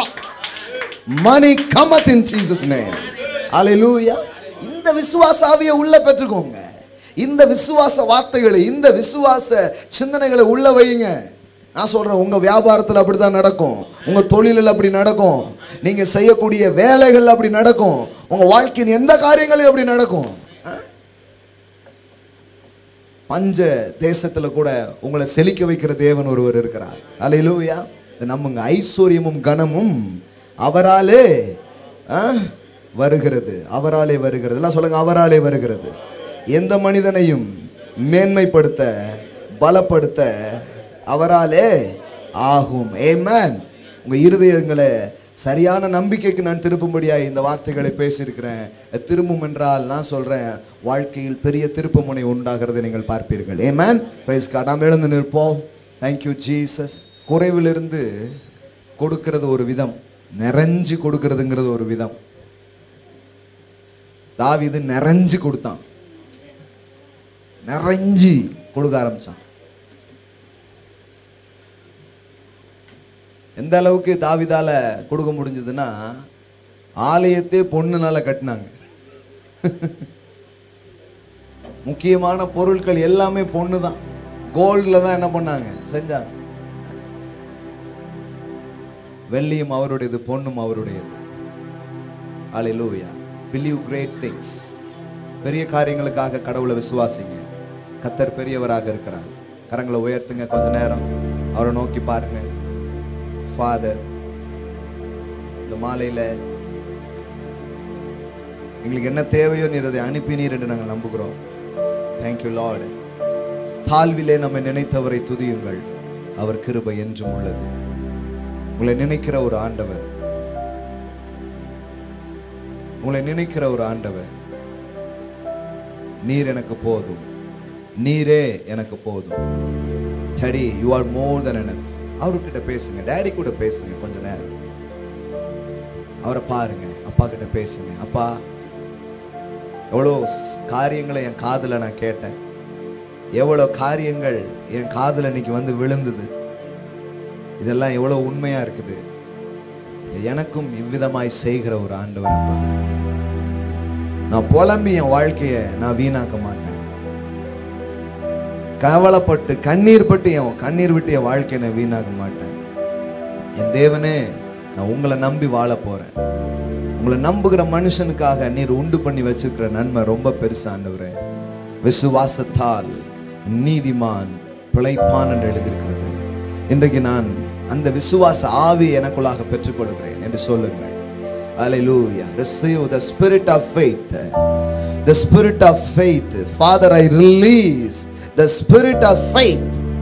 ஓருடைய ஆவியிலையும் விசுவாச ஆவி அவளை நிரப்பும்படிக்காக நான் பேசுகிறேன் வார்த்தைகள் மாத்திரமல்ல ஆவியே இப்படி மாறட்டும் என்று நான் பேசுகிறேன் ஆவியில ஆலை லூயா விசுவாச கலக்கும்படிக்காக நான் பேசுகிறேன் ஆலையிலூயா ஓடினாலும் இழைப்படையாத நடந்தாலும் சோர்ந்து போகாத தேவனுடைய பலனை நான் பேசுகிறேன். மேலே எழும்புகிற பலனை பேசுகிறேன். கீழாகாமல் மேலாகுகிற பலனை நான் பேசுகிறேன். வாலாகாமல் தலையாகிற பலனை நான் பேசுகிறேன். ஓ Father thank you Lord thank you Lord thank you Lord தங்கள் பின்னணிகளை பார்த்து தங்கள் வாழ்க்கையின் நிலைகளை பார்த்து ஓ தங்கள் இல்லாமைகளை பார்த்து சோர்ந்து போகிற மக்களாய் அல்ல. எனக்கு ஒருவர் இருக்கிறா என்னை விசாரிக்கிற ஒருவர் இருக்கிறா என் நன்மை செய்கிற ஒரு தேவன் இருக்கிறார். இந்த பூமியில உயர்த்துகிற ஒரு ஆண்டவர் இருக்கிறார் என்று கண்களை உம்மீது பதிக்க கற்றுக்கொள்ளட்டும். உள்ளங்களை உண்மையில் பதிக்க கற்றுக்கொள்ளட்டும். வாழட்டும் என்று நான் பேசுகிறேன். செழிக்கட்டும் என்று நான் பேசுகிறேன். உயரட்டும் என்று நான் பேசுகிறேன். அவிதமாய் செய்கிறபடியினால் உமக்கு நன்றி. இயேசுவின் நாமத்தினால் பிதாவே. ஆமென் ஆமென் ஆமென் ஆமென் ஹalleluya praise God amen. Praise God இப்பொழுது நாம் கொடுக்க போகிறோம். ஹalleluya கொடுப்பது விசுவாச செயல்களாக இருக்கிறது. பொருளாதாரத்திலே நிறைய பேர் கீழவே இருக்கிறாங்க. எப்படி மேலே வருதுன்னு அவங்களுக்கு தெரியல. மேலே எப்படி வருது? அன்று சொல்றாரு. திருக்கதரிசி சொல்றான். கொஞ்சோളം தான் இருக்கு அப்படிங்கிறான். அந்த அம்மா. கொஞ்சம் என்ன தான் இருக்கு? கொஞ்சம் தான் இருக்கு. அதுல இருந்து முதல்ல எடுத்துட்டு வா அப்படிங்கிற. எதுக்கு? இருக்கிறத காலி பண்றதுக்கா? மனுஷன் கேட்கறது நம்மளை காலி பண்றதுக்கு ஆண்டவர் கேட்கறது நம்ம வாழ்க்கையை பெருக்கிறதுக்காக அலையிலூயா எல்லாம் சொல்லுங்க அவர் கேட்டால் நீங்கள் பெருக போகிறீர்கள் என்ற அர்த்தம். அலையிலூயா ஆண்டவர் எப்பெல்லாம் கேட்டாரோ அப்பெல்லாம் ஜனங்கள் பெருகி இருக்கிறார்கள். அலையிலூயா அப்பெல்லாம் அவங்க ஒன்றும் இல்லாமல் போல பாருங்க. கத்தர் உங்கள் உள்ளங்களில் உங்கள் மனங்களில் சில காரியங்களை கொடுக்கும்படியாக சில காரியங்களை செய்யும்படியாக ஏவுவார் என்றால் அதை செய்யுங்கள். நான் சொல்கிறேன் அது உங்கள் வாழ்க்கையில் பெரிய ஆசீர்வாதத்தை ரிலீஸ் பண்ண ஆரம்பிக்கும். அலை லூயா என்கிட்ட என்ன இருக்குன்னு நினைக்காதீங்க. உங்ககிட்ட இருக்கிற சாதாரண காரியங்களை விதைகளாக தேவன் பார்க்கிறார். லூயா எஸ் கத்தரை நம்பி நன்மை செய் என்று வேதம் சொல்லுகிறது. கொடுக்கிறது வந்து ஒரு விசுவாச செயல்கள் பாருங்க. அதனாலதான் கொண்டு வர சொன்னேன் நிறைய பேர் பார்க்குறேன் இன்னைக்கு மக்கள் ஏன் தரித்திரமாக இருக்கிறாங்க தெரியுமா? எண்ணத்திலே தரித்திரம் இருக்குது அதெல்லாம் வாழ்க்கையில் இருக்குது. என்றைக்குமே என்னைக்குமே மனப்பூர்வமாக தங்கள் பொருளாதாரத்தை கொண்டு தேவனை கனம் பண்ணுற பழக்கமே உங்களுக்கு கிடையாது. நான் சொல்கிறேன் வருமானம்னு உங்கள் கையில் வருதுன்னா ஃபஸ்ட்டு அண்ட் பெஸ்ட் அதை எடுத்து அப்படி வைங்க அதை வைத்து தேவனுடைய பிரசன்னத்துக்கு அதை கொண்டு வாருங்கள் கத்தருடைய வார்த்தையும் அவருடைய பிரசனம் தான் என்னை ஆசீர்வதித்தது. நான் அதை கனம் பண்ண போகிறேன் என்று செய்து பாருங்கள். நான் சொல்கிறேன் இந்த வருஷம் பொருளாதாரத்தில் பெரிய பெருக்கங்களை உங்கள் வாழ்க்கையில் நீங்கள் பார்க்க ஆரம்பிப்பீர்கள். ஏமேன் எங்கேயோ ஏழைகளுக்கு உதவுறதை பற்றி நான் பேசலை. ஏழைகளுக்கு இறங்குறவன் கத்தருக்கு கடன் கொடுக்குறான். நான் அதை பேசலை. நான் பேசுறது தேவனை கனம் பண்ணும்படி கொடுக்கறத பற்றி பேசிட்டு ரெண்டையும் ஒன்றாக்கிறாதீங்க ரெண்டு ஒன்று கிடையாது. ரெண்டு ஒன்று கிடையாது. ஹானரிங் காட் இஸ் டிஃப்ரெண்ட் அது கத்தரை கனம் பண்றது. கத்தர் எனக்கு கொடுத்தார். நான் கத்தரை கனம் பண்ண போறேன். கத்தருடைய வார்த்தையை நான் கனம் பண்ண போறேன். தேவனுடைய பிரசனத்தை நான் கனம் பண்ணும்படியாக நான் கொடுக்கிறேன். அது வேற பாருங்க. நூறு ரூபா தான் வருமானம் வருதுன்னா அதுல இருந்து பத்து ரூபா கொண்டு வாங்க. ஆயிரம் ரூபாய் தான் எனக்கு கிடைக்குதுன்னா அதுல இருந்து நூறு ரூபாய் கொண்டாங்க கடவுள் வந்து பாருங்க ரொம்ப ஏதோ நம்ம வந்து அப்படியே புடுங்கணும்னு நினைக்கிற ஒரு கடவுள் கிடையாது. நம்ம கொடுக்கணும்னு நினைக்கிற ஒரு தேவனாக இருக்கிறார். அதில் லூயா இதுல நீங்க முதல்ல அதை தெரிஞ்சுக்கணும். அப்போ நீங்க விசுவாசிக்கிறதுக்கான அடையாளமே கிவிங் தான் பாருங்க. பயந்து பயம் பயம் உள்ள இருக்கும்போது இது இது இதுவே நம்ம பத்தாம போயிடும்பீங்க. சொன்ன மாதிரி ஆகும். ஆனா நீங்க விசுவாசிச்சு கொடுக்க ஆரம்பிக்கும் போது அன்னைக்கு நாங்க ஜுவல்லரிக்கு போயிருந்தோம். சில பொருட்கள்லாம் வாங்கினோம். மோதிரம்லாம் வாங்கினோம். வாங்கிட்டு வீட்டுக்கு வரும்போது சில ஃப்ரெண்ட்ஸு வீட்டில் உள்ளவங்களாம் சொன்னாங்க. என்ன சொன்னாங்க தெரியுமா? இது எவ்வளோ நாள் உங்கள் கையில் போட்டிருப்பீங்கன்னே தெரியலையே அப்படின்னா ஏன் தெரியுமா? இதுக்கு முன்னாடி என் கையில் போட்டதெல்லாம் என் கையில் இல்லை. எங்கேயாவது எனக்கு ரொம்ப ஆசீர்வாதமான வார்த்தை கிடச்சிதுன்னா கலட்டி போட்டுட்டு வந்துடும் நான். அதனால் இப்போ நிறைய உண்டாகிறத நான் பார்க்குறேன். நான் சொல்லட்டுமா? பொண்ணை நான் விதைச்சிருக்கிறேன். பொன்னை நான் அறுவடையாக பெறுகிறேன். அலையிலூயா எல்லாம் சொல்லுங்க தங்கம் விதைச்சா தங்கம் தான் வரும். பணத்தை விதைச்சா பணம் தான் வரும். மனிதன் எதை விதைக்கிறானோ அதையே அறுப்பான். ரெண்டு வேத வசனம் சொல்லுகிறது. நம்ம இது பாவ கணக்குல தான் இதை பார்த்துருக்கோம். ஆனா ஒரு நாளும் முன்னேற்றத்துக்காக இதை நம்ம யோசிச்சதே கிடையாது. மனுஷன் எதை விதைச்சானோ அதை அறுப்பான். போ நீ விதைச்சதை அறுப்ப போ. கெட்டு போறதுக்கு தான் அந்த பிரம்மாண்டத்தை நம்ம பார்த்துருக்கோம். என்னைக்காவது நான் நன்மையை விதைக்கும் பொழுது நன்மையை நான் அறுப்பேன். யோசிக்கல பாருங்க யாருமே. பணங்கிறது ஒரு விதை. இதுக்கு இவ்வளவு நேரம் எடுத்ததெல்லாம் நான் சொல்றேன்? சும்மா ஏதோ இல்லை இல்லை. சும்மா ஆஃபரிங்லாம் போடாதீங்க. நல்லா விளங்கி நல்லா புரிஞ்சு அதை நீங்க கொடுக்கணும். உங்க விசுவாசத்தை கலந்து கொடுக்கணும். அப்பதான் அது வந்து விசுவாச விதை. கடவுளுக்கு தேவை இருக்குங்கிறதுனால காணிக்க எடுக்கிறது இல்லைங்க. உங்கள் தேவைகளை அவர் சந்திக்க வல்லவ என்பதினாலே தான் காணிக்கை நாம் என்ன பண்றோம்? செலுத்துகிறோம். ஏமேன் ஆபிரகாம் மில்கி சேதேக் என்கிற ஒரு ராஜாவுக்கு கொண்டு போய் காணிக்கை கொடுத்தான். ராஜாவுக்கு ஏன் காணிக்கை?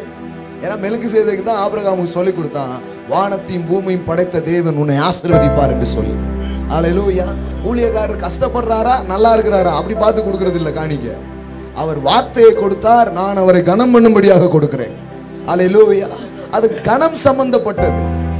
அவங்க எப்படி இருக்கிறாங்கிறத பார்த்து கொடுக்கறது இல்லை சில பார்க்க அவர் ரொம்ப கஷ்டப்படுகிறார். கொடுக்கறது எப்படி தெரியுமா?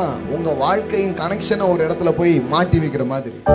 கஷ்டங்கிற இடத்துல போய் க- அந்த அனாயின்ட்டி உங்க மேல கட்டாயமா வரும். ஆனா வளருகிற பெருகுகிற ஆசீர்வாத வல்லமை வெளிப்படுகிற இடங்களில் நீங்கள் விதைக்கும் பொழுது அதே அபிஷேகம் உங்கள் வாழ்க்கையில வெளிப்படுகிறது நீங்கள் பார்க்க ஆரம்பிப்பீர்கள். அல்லேலூயா லட்சங்களை என்னால் வசீகரிக்க முடிகிறது பெற்றுக்கொள்ள முடிகிறது கோடிகளை என்னால் பெற முடிகிறது. நான் சொல்றேன் இந்த ஊழியத்தில் இந்த அபிஷேகத்தில் விதைக்கிறவங்களும் அப்பேற்பட்ட நன்மைகளுக்கு உரியவர்களாக இருப்பார்கள் என்று நான் பேசுகிறேன். அல்லேலூயா இந்த வார்த்தை எங்கிருந்து வேணாலும் கேட்கலாம். இன்னைக்கு நான் உங்களை அழைக்கிறேன். விசு விசுவாச வா- வார்த்தைகளை இன்னைக்கு கேட்டு இந்த வார்த்தைகளால் ஆசீர்வதிக்கப்படுவீங்க நான் உங்களை அழைக்கிறேன். உலகத்தில் எந்த நாட்டில் உலகத்தில் எங்கேருந்து நீங்கள் பார்த்தா கூட நீங்கள் விதைக்கலாம். இந்த இந்த இந்த நல்ல நிலத்தில் விதைக்கும்படி நான் உங்களை அழைக்கிறேன். உங்கள் வாழ்வு மாறும் உங்கள் வாழ்வு செழிக்க ஆரம்பிக்கும். ஏமேன் பிரைஸ் கார்டு கைகளை எடுத்துக்கொள்வோம். அறிக்கை செய்து நாம் கொடுக்க போகிறோம். ஹலை லூவியா தேங்க்யூ லாட் சீசஸ் எல்லாம் சொல்லுங்க பெருக விதைக்கிறவன் பெருக அறுப்பான். என் தேவனே ஐஸ்வர்யத்தை சம்பாதிக்க எனக்கு பேலனை கொடுக்கிறார். ஆகையால் என் தேவனை நான் கனம் பண்ணுகிறேன். இன்றைக்கு நான் விதைக்கிற என்னுடைய பொருளாதாரங்கள் என் வாழ்விலே அறுவடைகளாக மாறும். நான் செழித்திருப்பேன். நான் முன்னேறுவேன். நான் செழித்திருப்பேன். நான் முன்னேறுவேன். கடன் இல்லாத ஒரு வாழ்க்கை நான் வாழ்வேன். வாரி இறைக்கிற ஒரு வாழ்க்கை வாழ்வேன். பெருக்கத்தின் வாழ்க்கையை நான் வாழ்வேன். இயேசுவின் நாமத்தினாலே நான் அதை பெற்றுக்கொள்கிறேன். ஆமென் ஆமென் ஹalleluya praise god. நீங்க உங்க கை வெறுங்கையா இருக்கலாம். அல்லது சாதாரண விதைகள் தான் உங்ககிட்ட இருக்கலாம். நான் சொல்றேன் விதைக்கிறவனுக்கு அவர் விதையை கொடுப்பாரு. புரியுதா உங்களுக்கு? விதைக்கிறவனுக்கு என்ன கொடுப்பாரு? ஆ, இன்னைக்கு சின்ன விதையை தான் நீங்க போடுறீங்க. சீக்கிரமா பெரிய விதைகள்லாம் போடுறதுக்கு விதைகளை உங்ககிட்ட கொடுக்க ஆரம்பிப்பா. அலையிலூயா ஏன்னா ஆண்டவர் தெரியும் இந்த ஆள் விதைக்கிற ஆளு. இவர்கிட்ட இன்னும் விதையை கொடுக்கலான்னு உங்க கையில கொடுக்க ஆரம்பிப்பார் அலையிலூயா விதைக்கிறவனுக்கு விதையை கொடுப்பார். அவன் நீதியின் விளைச்சலை வர்த்திக்க பண்ணுவார். ஏமேன் சகோதரர் பாலசேகர் அவர்கள் பேசின வாழ்வை மாற்றும் தேவ வார்த்தைகள் டிவிடி எம்பி த்ரீ மற்றும் பென்ட்ரைவில் வடிவில் கிடைக்கிறது. பெற்றுக்கொள்ள தொடர்பு கொள்ள வேண்டிய தொலைபேசி எண் zero four six two four nine five zero three five zero மற்றும் nine five seven eight two zero four seven five zero rock Jesus திருச்சபையின் ஆராதனை நேரங்கள் ஒவ்வொரு ஞாயிறும் காலை பத்து முதல் பன்னெண்டு முப்பது மணி வரை. மாலை ஆராதனை ஆறு முதல் எட்டு முப்பது மணி வரை. நடைபெறும் இடம் fifth Thomas street near post office ரவுண்டானா bus stop Perumalpuram Palayamkottai Tirunelveli. வந்து பாருங்கள் வாழ்க்கை மாறுவது நிச்சயம்.